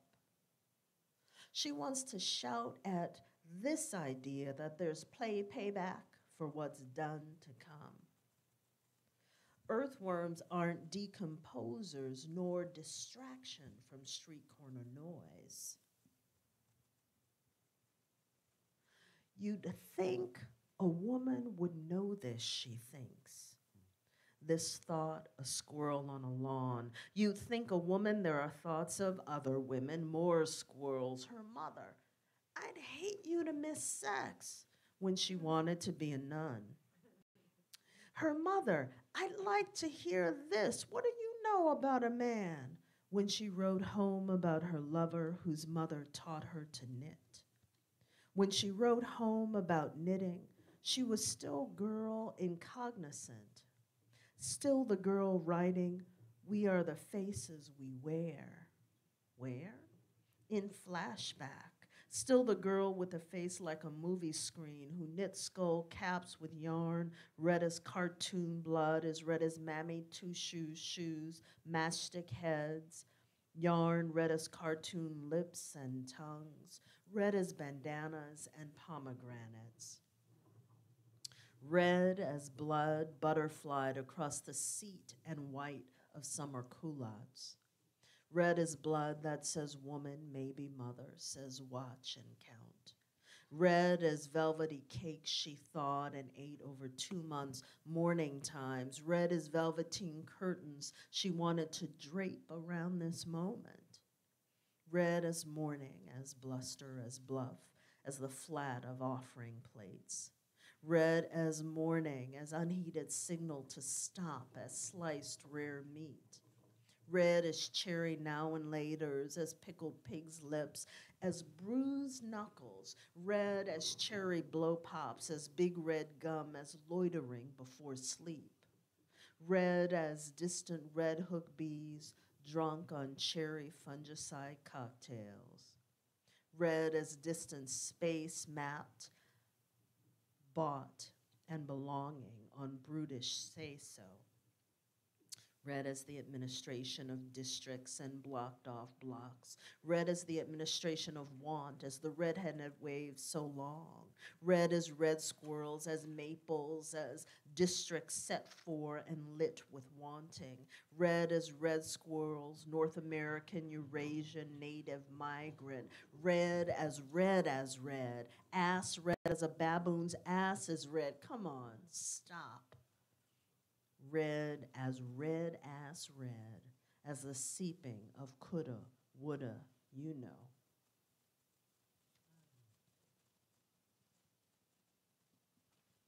Thank you for reading that, and I think, or for one could say, seeing that through, and rendering that in in the space of of the kind of bend of Wittgenstein, Mm-hmm. the sort of like hardness of it. I keep thinking about what it means to have this.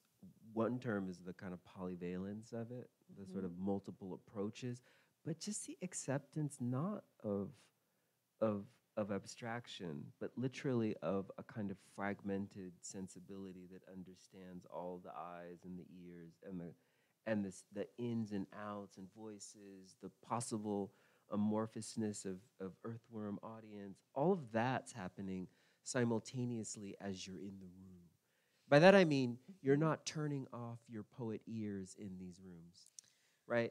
You're not turning off. It's like you can't, you have no choice but to mm-hmm. but to hear and also applaud. And I'm really interested in that as it, what I learned today mm-hmm. is the insistence, the reminder in- of your work and the kinds of ways in which you're moving through these questions to always have what either the consequences, the benefits, the realities of leaving it on. Of leaving the sensibility on or the poet's ear or uh, something. I think something that's moving in terms of of I keep know this, these moments that are happening at the same time, both in the poems but also in the study and in mm-hmm. the field of the resistance is not okay. I'm not going to hear this particular, you know, rhetorical. Tr- No, I'm not going to fall Wittgen- into that I rhetorical trap. I dig Wittgenstein. Like I'm Right. like, okay, he's got some interesting things to say. But I'm also interested in Wittgenstein being in the room with, Yeah, you know, um, Marvin Gaye. right. Being in the room with Yeah, that there's the whole there are many possible worlds that seem to me legitimate mm. for exploration examination for attention. And it's that kind of I, I don't know i get excited and, and hyped up about it. I think that i am each of us is multiple and that it's that discomfort with our multiplicity that is actually about making us smaller and harder and um, more protected and protective and hostile. But it's the expansiveness of being that I'm interested in exploring, and that I that I think your work explores, that I think your mind explores, how you exist, how you move through a room, all those things. I think Steve is signaling us. No, we're okay. Okay. I wanted to just say how important it is to just kind of put the put the sort of um, the, the the compositional frame around the brilliance of the undisciplined and the recreation as a site to me is the is the way I would say, hmm, I haven't slept for a long time, but I was on a panel with Tonya and we thought about recreation. So maybe I can rest a different way and or I was with you in this room and I can sleep maybe the quality of sleep might be is like what what's the sort of interlocutor that moves in? So I wanted to thank you for putting together this and for inviting, you know, UC Santa Cruz and our living writers conversation and this to go back to Lorde, right? This idea of how how is difference forging power? That's And- the question that this body of work makes all the time. Mm-hmm. and that we're walking together. Mm-hmm. That key to me is the mm-hmm. question of camaraderie and who's your crew? You know? And it's with your crew that we make something else possible. Who's your crew? Who's your crew? And in that crew, it is where we make something possible. Mhm. I'm just in my mind. I'm just like thinking of all the possible, like you know, song permutations. It's about to, it's about to jump off. like okay, um, yeah. So I, I think it's great. I don't know where we are in terms of the next movements for like the. Should we? Well, I'm hoping that we'll do our spring. We have a vision Oh, that's right. for what we'll do in the spring, and we're I, we can't say anything until we make it happen. Um, but yeah, some really remarkable poets. Do you guys have any questions? Uh, we've kind of talked, but this is how we talk on the phone. That's true. It's true. So. it's our phone conversation. It is our phone It's true. conversation. It's true. If there are questions, I'll take Ronaldo's mic Yeah. to the audience. And are there people in, like, I can't see, y- or is there anyone in the Zoom, in the, we're not in the Zoom, we're in YouTube, okay. Or YouTube, they can't. They can- can't ask they questions. can- They can make noises with words. They can dance. Yes. I'm sorry? They can make comments. They are commenting. There's over 100 people there. Wow. Yeah. That's you. You have to.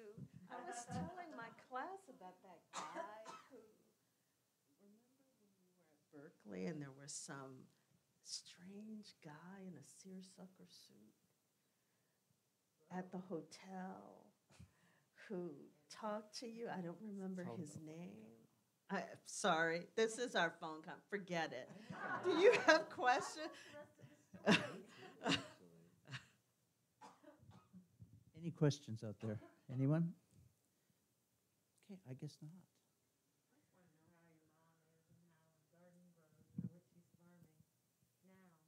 Oh, she is. Um, what is my mother farming now? Oh, um, broccoli. Um, and that's her n- latest thing. Broccoli and sweet potatoes. She's discovering all of these different, you know, elements. Those are really good for you. Mhm. You said she ripped up the lawn. That really caught me. You said y- y- the- the- her husband died, your dad died, Yeah, it's a lot. and so for, so for a long time, it was a, what kind of lawn was it before she made, started digging? These are really good questions. No, I You mean, th- should repeat them. yeah, they they are. Oh, the question is, so y- you mentioned. Um, uh, r- remind me your name.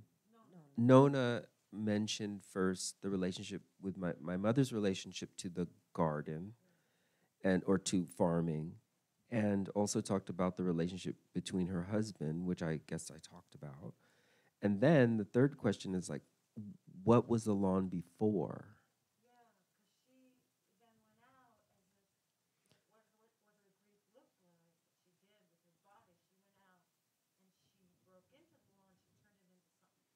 Yeah, you know, my niece came and lived with us with them, and so she was already doing some elements of gardening.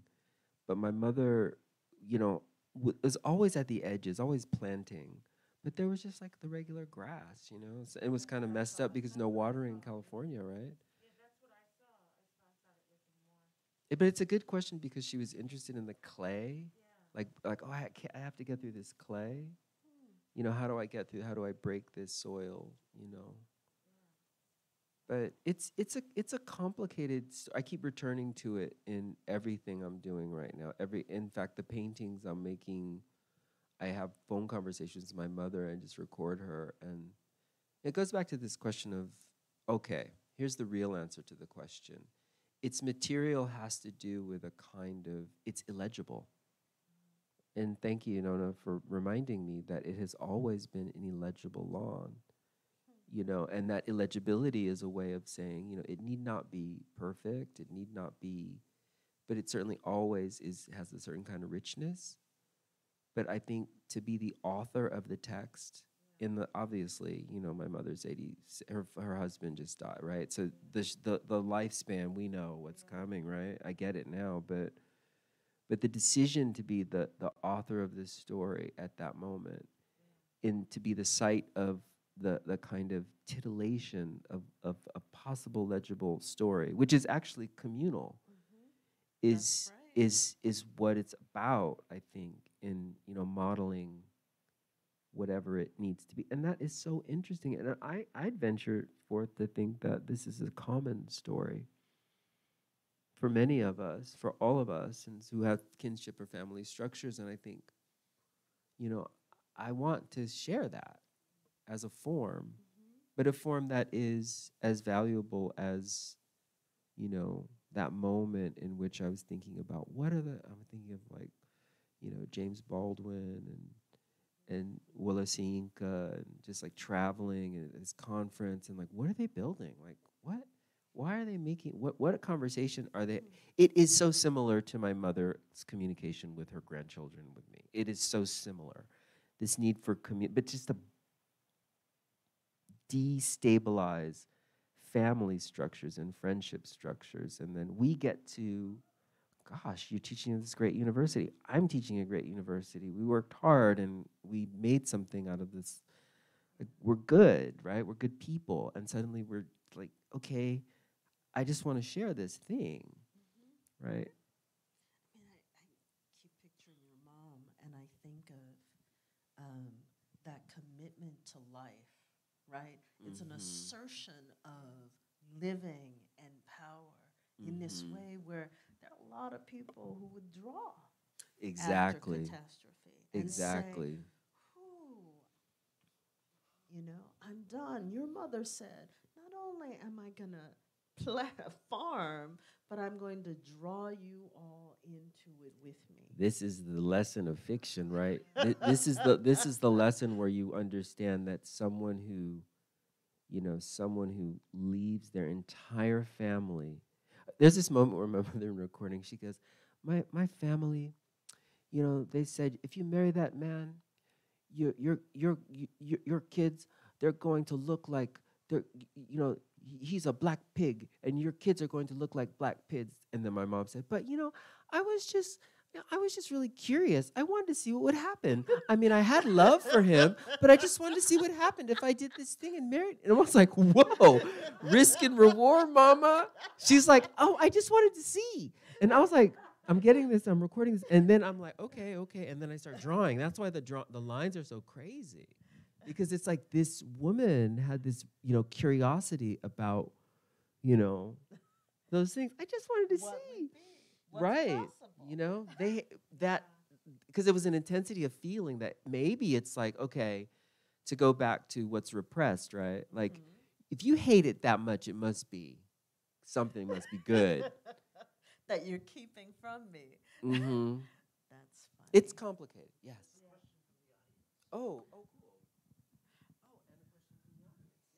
No, a question from the audience out in the world of the uh, live stream, and um, a question with a a relevant comment. Um, There's somebody else just spoke and it bumped them. Um, I'd love to hear how you all think about undisciplining as an act of care. That's Will Clark, and, and Roxy Power says, um, undisciplining as an act of care hails others into the field, making them legible. There's a poetic history of talking about opening the field, but usually to more objects, not more people. You know, so it's a, Nice. a complex of question, comment, et cetera. That is But, but, but undisciplining, undisciplining as an act of care. I guess that's the basic question. Well, hmm. I was a graduate student when um, the whole near death shocker happened. And, um, and I, of course, had done something that I'm terrible with paperwork. And so I had not turned in my insurance form. Mm. So not only did I get deathly ill, I didn't have insurance. And the doctor who first saw me said, Oh, I think you need a blood transfusion. Then he sent me home. Um, and so I went home, and I was probably delirious and whatever. And so I was talking to one of my best friends, and I'm talking to her about. I was obsessed at that time with Charles Burnett's Killer of Sheep. And so I, my friend was working on an essay, I was like, well, you know, I'm laughing because this is ridiculous. I'm sort of, I said, yeah, he said I need a blood transfusion, but I'm going to turn in my form in the next few days and then I'll go see about the blood transfusion. And she's like, okay, I'm finishing this essay. And she was thinking about Ralph Kramden Hmm. from the honeymooners. And I said, Well, Ralph Kramden's melancholia is not quite melancholia, and it's really different from the character in Charles Burnett's Killer of Sheep, because he has no opportunity for leisure. And I do this breakdown of comparison and what does it mean to be a uh, poor black man with nowhere to go? And so I do this, and then I'm like, okay, now I, I'm gonna try to sleep. And I'm in pain, and I can't quite sleep, and I can't quite get quite easy. So my friend calls my neighbor, that, who's also my friend, who's in graduate school with me, and she's like, what is Tonya talking about? What's going on? And then she calls someone from the Center for Humanities where I'm working. She's like, Anna What happened? What the doctor say? And the doctor said, and Anna said, I don't know. So my friend says, get Tonya to the hospital. Just somebody take her, I'll come. So they take me to the hospital. Um, stuff hits the fan, let's say. Well, what I know is that I got through this in part because of family that wasn't connected to this, because of people at the institution, because of people I knew around the institution, and that there was this incredible moment where, at least for me, I came to understand that I lived in a complicated community with um, people I knew in radically different ways. And that whatever my work was, it was work in conversation with people in all these different spaces. That's a weird and winding story, No, but not. that's how I think of undisciplining. That I actually think those varied communities kept me alive.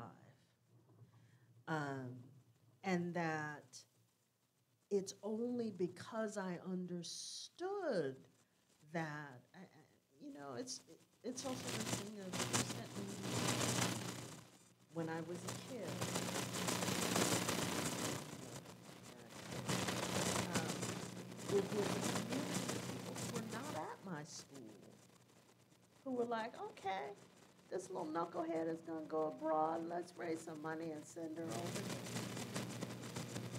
And so it's those communities that I think of, I think about care and undisciplining as that.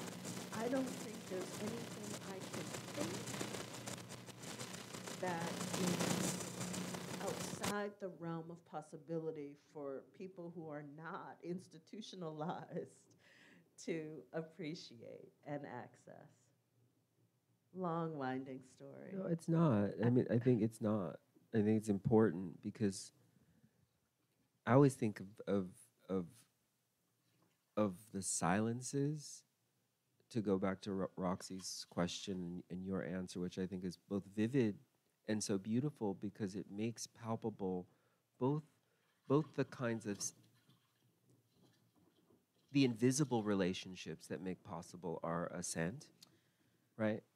The the financial decisions people make, the care. I mean, it's like I was thinking. I think about the these again, like uh, you know, as the same adage: if race is a social construct, you have to work whatever how many times harder, right? As a POC per black person in the academy, right? But actually, you're making me realize like there's a lot of other people who Who have been working working hard. multiply. it's not just your body; it's this phalanx of people who brought you to this place. Little gestures, like my uncle's, you know, pulling material, pulling money together, so I didn't have to get to pay tuition at Berkeley for uh, my my little dorm room, and me, my little attitude coming home. Grandma's wearing my robe, and all my uncles coming home saying, "What? You have a robe? Your grandma wearing your robe?" And I was like, "Okay, okay, I get it." And then I was on the couch. I had no room, right? But part of it was like this con- that conversation making it really visible for people who don't. I mean, is that the kind of trust fund, right? Mm. Is Ooh. is you know what I'm saying? Mm-hmm. Like that's a kind of irrepressible, priceless value that you're making me understand. I don't think it's long and winding because I think those sort of tentacular and beautiful moments that are just outside of the picture they you know they are the brilliance just as much as you know obviously right we wouldn't be where we are if we didn't have a certain set of preparation skill and all of the things so hard right to, but at the same time is there's all of this other kind of touching and labor that happens with friends and and that's what's lovely because i have known the value of our friendship and our social group like you know uh, our contemporaries. It's palpable like we're floating around at the same time. John keene Dawn martin Torkwase dyson you know Mendi tanya Keith. Mendi keith like we're alive in this and we know something's happening right we're not shy about it we're like okay yeah Duriel harris okay it's it's popping but to just know that it's not that we're what you're saying is so beautiful to me because it's also a matter of saying what if we made that um, just like the cream corn. That that's part of the plate. That's part of the the, the That's seepage. right. Don't lie about it. Nobody makes it through this by themselves. Yes. Nobody. Yeah. No matter what superstar life, whatever they're living, it's a lie that they are the singular star. And that crew is no joke. The crew the crew is also like choosing that particular group friend group and d- d- being discerning enough to know no you need to come over here because the real thinking might it might but this is where it's really happening i'm just saying that because it's like it's just nice to, to just kind of come out in that way publicly in, in a discussion that says these are the terms of engagement That's right. And that it's not about the brand. It's actually about another I don't I don't even know what to call it, but another space of feeling and value that is not just about brand. I mean, it's true. It's truly peopled. uh, To go to the question, right? It's truly peopled before, right? A Mhm. priori, a priori, A priori. a priori feeling peopled.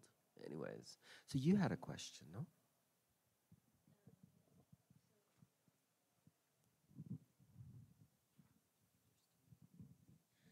Uh, yeah. So, and you had said earlier, you said that you were from the first generation after the civil rights movement, and um, and then Dr. Foster was saying how when she went to went, went to graduate school and she was having this whole Du Bois thing about about double double Con- consciousness and how.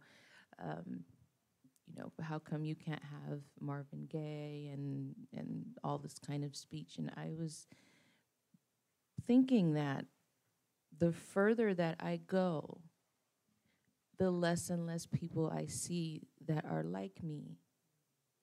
Um, there are people that look like me. There was a, you know, there's a big influx of of, of Africans that have came here, and they, um, and so they look like us, but they're not us. They're not, you know, they're not descendants of slaves. And I was just thinking, uh, you said it's the discomfort of our multiplicity that makes us small.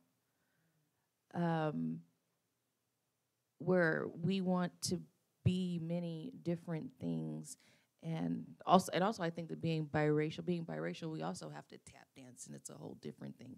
And my I think my question is now that you are the teachers in the beginning of an entire new civil rights movement what what do you uh, what do you want us to what do you want us to know from your experience so that we don't have to have this this staged speech this speech that makes them comfortable so that they you see what I'm s- you're you know you're our teachers now Right. what do we do You know, it's funny for me. I I ask that question all the time because I can say that even in the classroom, issues around race and power come up all the time. And so the notion of who I am in front of the classroom plays out in classrooms where many of the students don't look like me or don't have similar experiences to me. What I try to do in a classroom space, like I am so not interested in mastery. Students assume that means I'm not interested in expertise. And I think there's something, there's a really nuanced difference between expertise and mastery. Expertise allows for careful study and inquiry. Mastery assumes a certain kind of control and assumes certainty.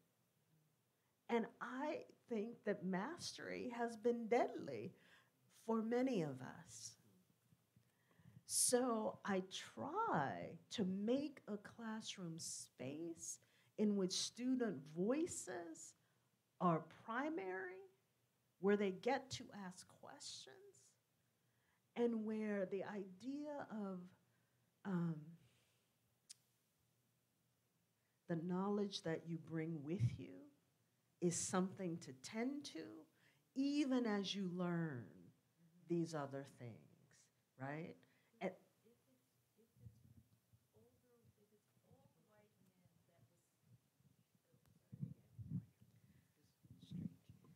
If it's older white men that decide what fine art is, then how how do we how, how do we go around that? Am I am I even making sense? Okay. think of the, the funny, the thing that ju- jumped into my head, which isn't funny, is the Gee's Bend quilters, right? So Gee's Bend quilters, um, South Carolina. Um, I could pull up some of the quilts, but the quilts are now sold in the Tate. They were in the Tate Modern. They were in MoMA.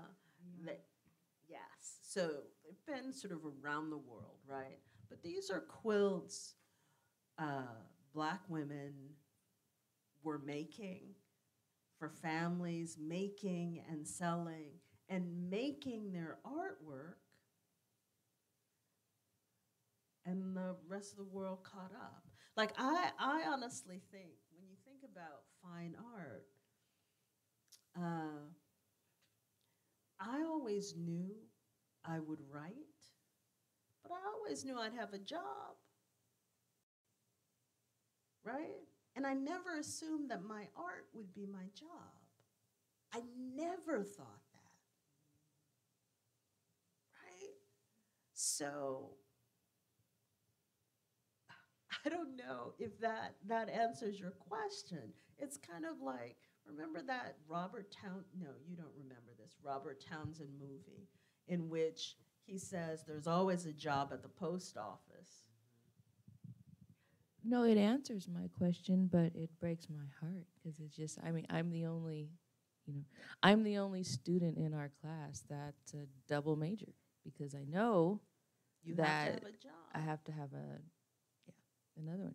Um, know that Aimé Césaire was a cabinet minister for Martinique. Aimé Césaire, one of the most brilliant poets of the negritude movement, but of any time, right?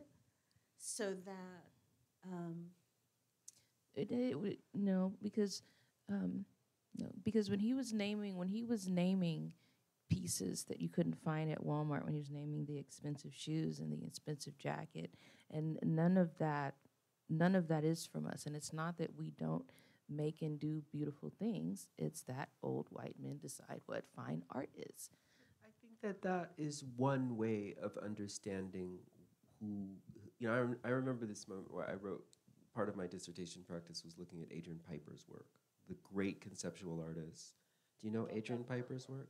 no I don't know any visual So work at all Adrian Sorry. Piper is a kind of a double major, right? Adrian Piper is a, a, an esteemed philosopher who wrote on Kant, Kant's pu- pure critique of racism, and is, is a fully fledged Harvard philosopher, massive two volume work of, of philosophy, but also left the academy, and two volume work of, of art over, you know, if, as soon y- your mind will be blown if you think about her because when I was working on a dissertation with Michele Wallace at at, um, at the CUNY Graduate Center, I said, you know, Michelle, I was like, I gotta read. I was like, I have to get to the Kant, and she was like, Excuse me, you don't think that Adrian Piper has processed the Kant for you? and I was like, Oh, I guess I don't have to look at the old white man. I can just sit with this work, two volumes and has this. So I don't look. I mean, I don't even. Why not relegate the white man to the footnote? Why? Why? Why? Why do? Why did they have to? First of all, the choice of placing expensive or name brand products in a conceptual field is in conversation with black art. William Pope L. Adrian Piper, Kara Walker, Gwendolyn Brooks, June Jordan. Um, you know, uh, Ida B. Wells. The the system of cataloging is is is a is a gesture to the is to the um, to the kind of epistemological um, field that I'm interested in, and I'm indebted to Black and Brown people as the people that I study. Like if I teach a course, right? Like I'm teaching this course called Black Queer Theory as Practice, right? And what I love about the course is like, you know what? I want to read. You know, there are people that I could work. You know, maybe queer theorists that I think through. But I'm like, you know what? I'm gonna just look at some Baldwin, Audre Lorde, and June Jordan. They will be my legends, and they they they take up this space. And then we move from those folks to then okay, then we might look at Tonya's work, or then we might look at maybe Saidiya comes up, or, maybe Fred comes up. But that's okay if they do or don't. I'm really interested in how do we get, and as my training in looking at black art. One, one show, one place I would encourage you to go to if you haven't, it's in your city, is Faith, Ro- Faith Ringgold's um, a- a retrospective, first ever in this illustrious career, that I saw at the MoMA, not so MoMA, the Whitney, in which I rented a hotel for two weeks. No, I think for that time it was it was just for, for four days, and I just spent the day looking at that work. So my feeling is like this question you you had of of of you don't have you don't have to or you don't. There was a way in which you phrased it where you what what the question was. I, I guess my question is: Do you want to believe the reality that there are actual that they don't matter? That white male artists are like these these arbiters of they don't matter if you have if you're looking at I, I like to look at people who have hmm, who's been working like William Kentridge, right? White South African artist, dope, massive career. I saw his full term, full retrospective in Berlin around the same time when I saw Adrian Piper's retrospective. But I actually went to Berlin to check out her archives because she has a, um, an institute in Germany. No, it's a complicated story. It's really complicated because I wasn't ready to meet Adrian Piper. I mean, in order to meet Adrian Piper, I could because I have a certain way, but I wasn't ready to have the discussion because you have to have a, a different relationship to art and practice, and I wasn't ready to have that. But I guess in some ways, I've sat with the work enough to where I didn't really think I needed to meet Adrian Piper at that moment. But I'm just saying there are. This is the thing I learned in reading every single piece of work from Gwendolyn Brooks all of the biographies, all of the poetry, all of the criticism. I didn't worry about, you know, mm-hmm. oh man, Whitey Ball. It was it was it there was no there was you know there was like no no, comparison. There's no other genius. So like if that's my genius, like, and if you're working in the field, and, and you, this is one thing we we learned at, at the CUNY Graduate Center. One of our training is like, the center point is your center point. And if you look at the people who come from our institution, um, Simone White, um, Maggie Nelson, Greg Pardlo was moving around the area. It's just an institution where you don't, it's like they're interchangeable. But part of it is, are you actually going to believe that there that it is not the case that old white men have created the conditions for fine art? And check it out. Check, have that question with with Faith Ringgold. She's all about it with these white figures in these in these quilts. It's outrageous. She creates a fictional character that actually travels and is in she's repainting Picasso in these quilts, repainting all of the famous and placing the narrative in there and then writing a novella underneath it for children and protesting. I'm like there's no one else. There's no and no one matters. It's like okay, yeah, okay, okay, and I love Andy Warhol. But it's like, okay, now they're in conversation. I never, and also, and this is my other question is, who are the like dope ass white people, right? Like that's I'm like William Kentridge, get it. You know, I, I think about another another person to think there's is this a, a, a, a, a new not a new Ka- Ka- Karma Mayette is a poet, also a performance artist. She has this beautiful, brilliant kind of play that she's working on where she deals with where the she's reading race cards and then the kind of um, contrapuntal moment is she plays a she's like if the audience gets it right or wrong she then plays a white soul song. And she's like and she talks about oh yeah i was dancing a light it might be like joni mitchell and joni mitchell touched her. So part of it is like you know if I, will tell you you know if it weren't for the beatles i don't think i would have understood what it meant to, to sing and to understand the capaciousness of audience. Because my parents were, I was like, Mom, Dad have Beatlemania. And they're like, What's wrong with you? What's, but it was infectious. And it came from a different place than my needing to learn Kant. But I just think there's a lot of models out. I mean, especially now. I'm sorry, I, I don't know what Kant is. Oh, it's just, uh, it's just not important. A philosopher. Enlightenment, dude. But, but just someone, but just my answer is just please check out that show. We're going. Actually, my class is going to the I faith. told them we're We're, going we're all to. going together. Well, that's if people can go on the 18th. Oh, It's sure. at the De Can Young. we do another day? Can we do Wednesday? We have to do another day. So Wednesday would probably be ideal. We're gonna go. We're on- going to, no, I told both classes, we were, we were trying to negotiate this. But Wednesday would probably be better for people. That's where I'm bringing my grad students and graduate students, undergrad And to grad. go And right. we're just gonna get it popping and then just like sit at the altar of all things faith. But I do have to say, you probably should go more than once. It's a massive show. And when I went to see it, I walked and walked and sat, and it's stunning. And well, I saw it at, the MoMA. Go more than one time. Not next. No, no, no, no. It's at the De Young, and we're not going till November, sometime in November. Um, but I don't know why you're thinking next Wednesday. um, but I would go more than once. just because the course of study that it's just such an important deal to understand that you know to return your practice might be something that you haven't discovered yet like your research practice right like i just am so struck by And you don't have to kill off all white men. I mean, I, I i know You know what I? I can't. I can't get enough, as they say. Sorry, You're not supposed to say that in public, I'm an addict. but What can I say? I'm deeply. It's I'm so say- wrong. I'm saying this because your, um, what do you call it?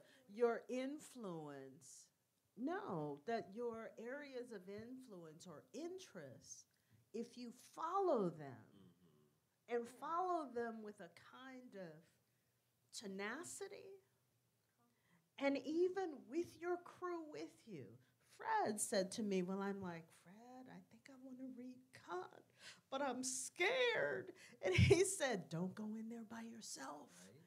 And so that thing that you take your crew with you, that this is not, um, when I talk about poetry, I mean, Ronaldo, I talk to Abu, I talk to Marcel, I talked to a host of people that those are the people I'm thinking through what I'm making with. So there's that. It doesn't have to be a tragedy that you have to do a double major. That one hopes the artist is writing and thinking about something other than just navel gazing. Right? I mean, know something. I told everybody I'm reading Denise Ferreira da Silva. Why? Because I'm like, okay, I got I have to understand this. And De Silva is reading Kindred. It's reading Octavia Butler. So it's not a tragedy to have to study something else. Now the question becomes how do you get the time? And that's the problem. That's the hard part. you know the elephant in the room too is also that if you're if we're talking about art beyond a certain kind of consumption mm-hmm. right i mean i really teach and got a phd and do my work so i don't have to answer anyone in my art right like i make whatever i want i don't care what it is like believe me because i can i have a skill set i can teach literature I can do these. Th- it was a second job. I actually don't have a fine arts degree. I have an MA from NYU and I have a PhD. I have no art training because I don't want that work. I don't want anyone to touch my mom in that way. I, I, I but if, if it's so, I think that part of it is ne- ne- understanding that the the the other work. Uh, uh, my very first teacher was Ishmael Reed at Berkeley. And he said, Ronaldo, don't be afraid of a job just washing dishes. Because if you're washing dishes, you can just you can just do that and then do your work later. And I always thought of that. Like there is a way to protect your work because I know intuitively and also that the work I'm making is priceless. I can trade up on a way to a co- completely different career in, in, in art making because I know gallery. I don't know the galleries, but I know quality of work and I know that I could work at scale and I have a story that's interesting, that I'm I don't mind selling, right? Because I'm interested in it, but I'm stable. I wouldn't make those decisions as a young person, but to have a home, to have a car, to have a husband, to have things that I think are stable means that I can foray in making a certain kind of a different kind of what wealth because I want to help people, right? Like if uh, if I see Mark Bradford selling, you know, a painting, I mean, I'm not in that world, but if like some if something's selling for 2.2 million dollars or whatever it is, or 200 thousand dollars, like I can actually be like, okay, let me just figure out this way to build something out of this, make because I don't mind it, and it sells, and it's it's different. It's un, but writing, I mm, I have a different relationship to. I guess all I'm saying too is I I'm I'm I'm aligned with it protecting your art at all costs, and the double major might be saving your life. Toni Morrison got up at five o'clock in the morning to write before her kids got up. And she was an editor until, you know, after her first book had come out. And I think she was working on the second, and her publisher said, you know, you really should devote your time to writing. Um, Lucille Clifton used to write short poems while she was ironing. So, and I don't say that's ideal, right? Um, June Jordan did tons of work. She also died of cancer, probably because she was stressed out of, I- mean, just, it was torture on her. Jimmy Baldwin dies of stomach cancer, tries to kill himself. I mean, multiple times.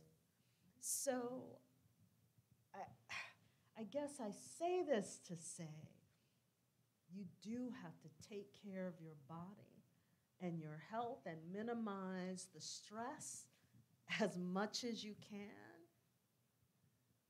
Um, at the same time that you, part of taking care of yourself is being able to write or being able to make your art.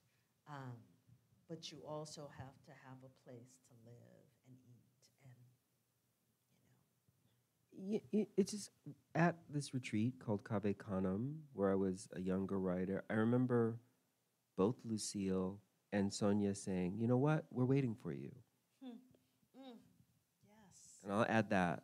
You know, we're She's waiting for you. terrific writer. Terrific, and and it's just like also like it's. I meant you, Angela.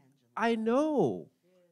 And part of it is how do you witness your own, and I'm not saying this like witness your in the tacky way, but like how do you witness the profundity of the stuff you make? Because that's the stuff that also you have to be prepared to understand what the relationship to your greatness is and making it, and it's powerful alone.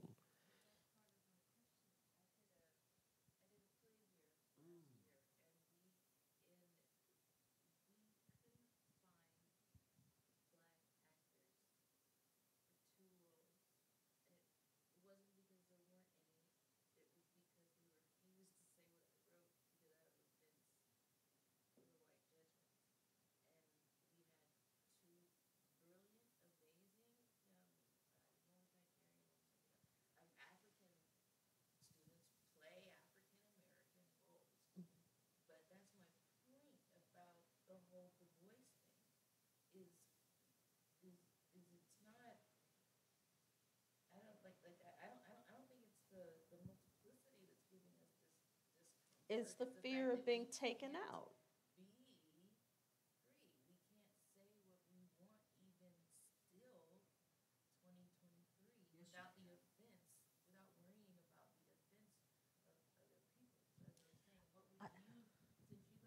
Here's a story I'm gonna tell you, and I'm not gonna cuss, because I can't cuss oh, pub. Are you trying to get me fired, Steve? Thanks. I'll see you outside. I know, like what? out back. So, someone said something to me, did something, right? I was at, at God, how am I going to tell this story and not identify the, the place? So I was somewhere doing something. I was gainfully employed, right? Community of people. Someone does something mighty shady. But then the expectation is that I'm not going to be mad. hmm And so the first time the person's like, oh, well, we weren't trying to hurt you. And I'm like, mm hmm, okay, I heard you. She was shocked. She goes, what? I said, no, I heard you, got it. Next week, I'm sitting. By this point, I'd had three mixed drinks. And I'm sitting writing something. And she comes up to me, she goes, Oh, you know, the point is, we didn't mean to, we weren't trying to hurt you. We didn't mm. intend to offend you. And I looked at her and I said, Huh. I said, You do realize that I don't give a about your intentions. She was so mad hmm. and so shocked. And one friend described this to me and said, Tonya, you burned that bridge. Mm. And I said, No, she mm. burned that bridge mm-hmm. and then blew the ashes and smoke in my face and wanted me to act as if there was still a bridge. And so, what I said, what I understood in that moment was that I didn't have to pretend anymore. That I had to call it what it was mm-hmm. for my own sanity. Mm-hmm. Mm-hmm. Right? And so, I feel like there are times that we expend a lot of energy interacting with our projections onto other people. And that's not to say there aren't there aren't numbers of Karens and white men who are waiting to judge you and assess you and tell you and dismiss you. Not saying that at all. What I'm saying is that their power lies in a performance of civility and in our being complicit in protecting them from their own monstrosity. And so, what if, what if we refuse? We can't do it when we're surrounded by cops with guns. We can't do it. There are all these circumstances where it really is a threat to your life. But there are so many others where it isn't.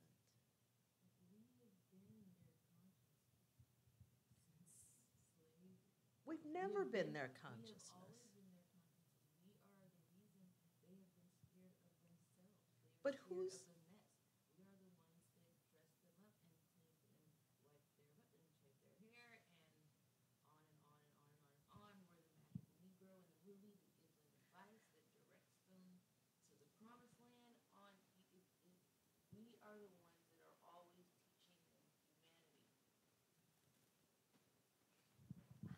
see?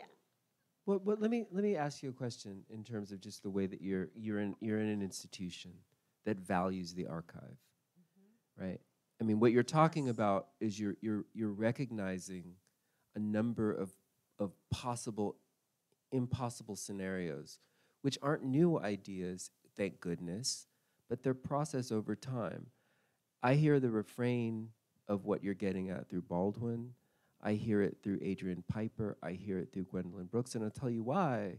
Because the actual practice in the art making in all of the folks I've mentioned includes not only the primary work, but the archiving of the work. Mm-hmm. By archiving, I mean what would happen if you wrote an essay about your playwriting performance? And maybe you did.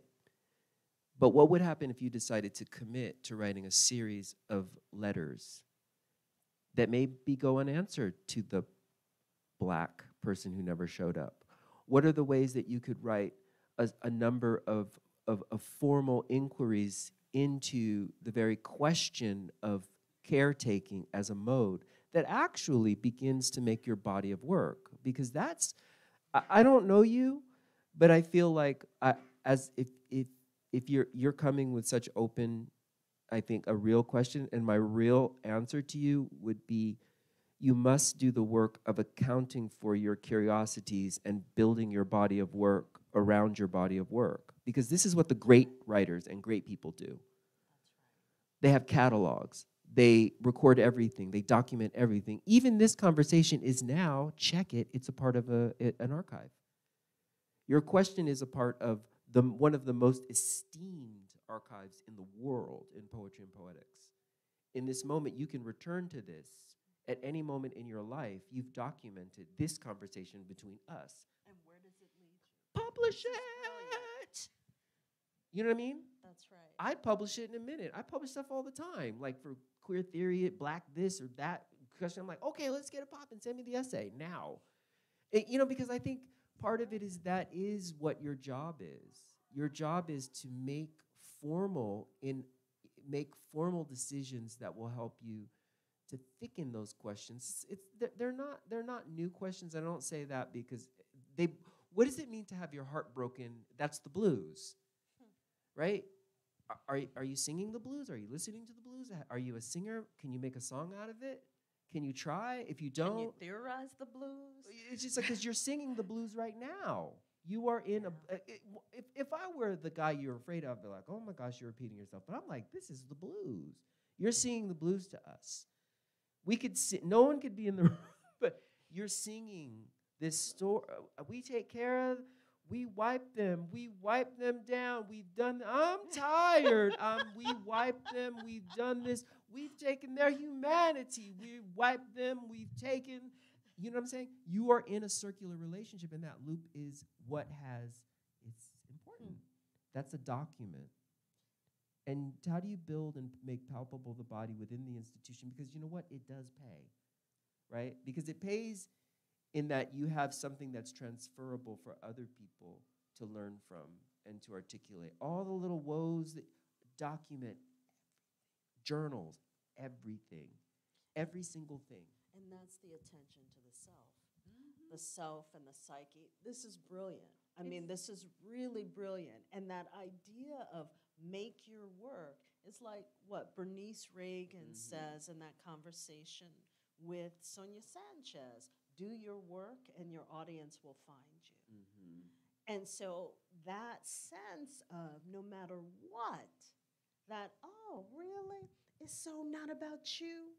It's about my perception of what happened. I'm going to write about that. Or it's about mm-hmm. who I imagine you are. I'm going to write about that. Mm-hmm. Yeah. There's just so many loops, right? I, I, I, I will say this one little thing. uh, The archives of Gwendolyn Brooks are the one portion of them is at the Bancroft Library, eh, just over the hill or over the bridge or whatever. But I went there before they were released to the public because I just had this hunch. I, I wrote this little grant. I was teaching at Mount Holyoke, and then there were just boxes and Gwendolyn Brooks boxes. I'm opening boxes. I'm like, should I be touching this? Now I had safe passage for a number of reasons, right? you know, and one was I was presentable. I, th- you know, I knew how to get, you know, I knew how to get into a room. So I'm in the room with Gwendolyn Brooks' stuff, and I open this stuff up, and it begins to fall apart. Mm. And there are, check this out. There were maybe they're still there, but I was looking at checkbooks. I was looking at things that were literally just, and the most interesting, I was all about her laundry bills right? But that's the archive. She's so, I was so committed as a scholar that I wanted that thing, kind of like what you're talking. It may seem like this thing that's not important, but every single thing creates a journey that may be possible in terms of the wrong word is the archive. It might be the record. It might be the feeling. There's something else I think you're getting at in your question. But I'm here to say, or we're both here to say, that there's potential both in the act of scholarship, but also in the act of creation. A play is a play, mm-hmm. right? I mean, I write plays, but I, I don't actually expect to, you know, maybe they'll be staged, but the act of making a play is a very interesting formal practice that doesn't really need an it doesn't really need i mean many of us have never seen a, a, a shakespeare play like othello live and you know and broad, but still we go to this sorry to bring up you know the you know the granddaddy of them But all. look at what Césaire did with Shakespeare, right? There are mm-hmm. all those brilliant writers in conversation.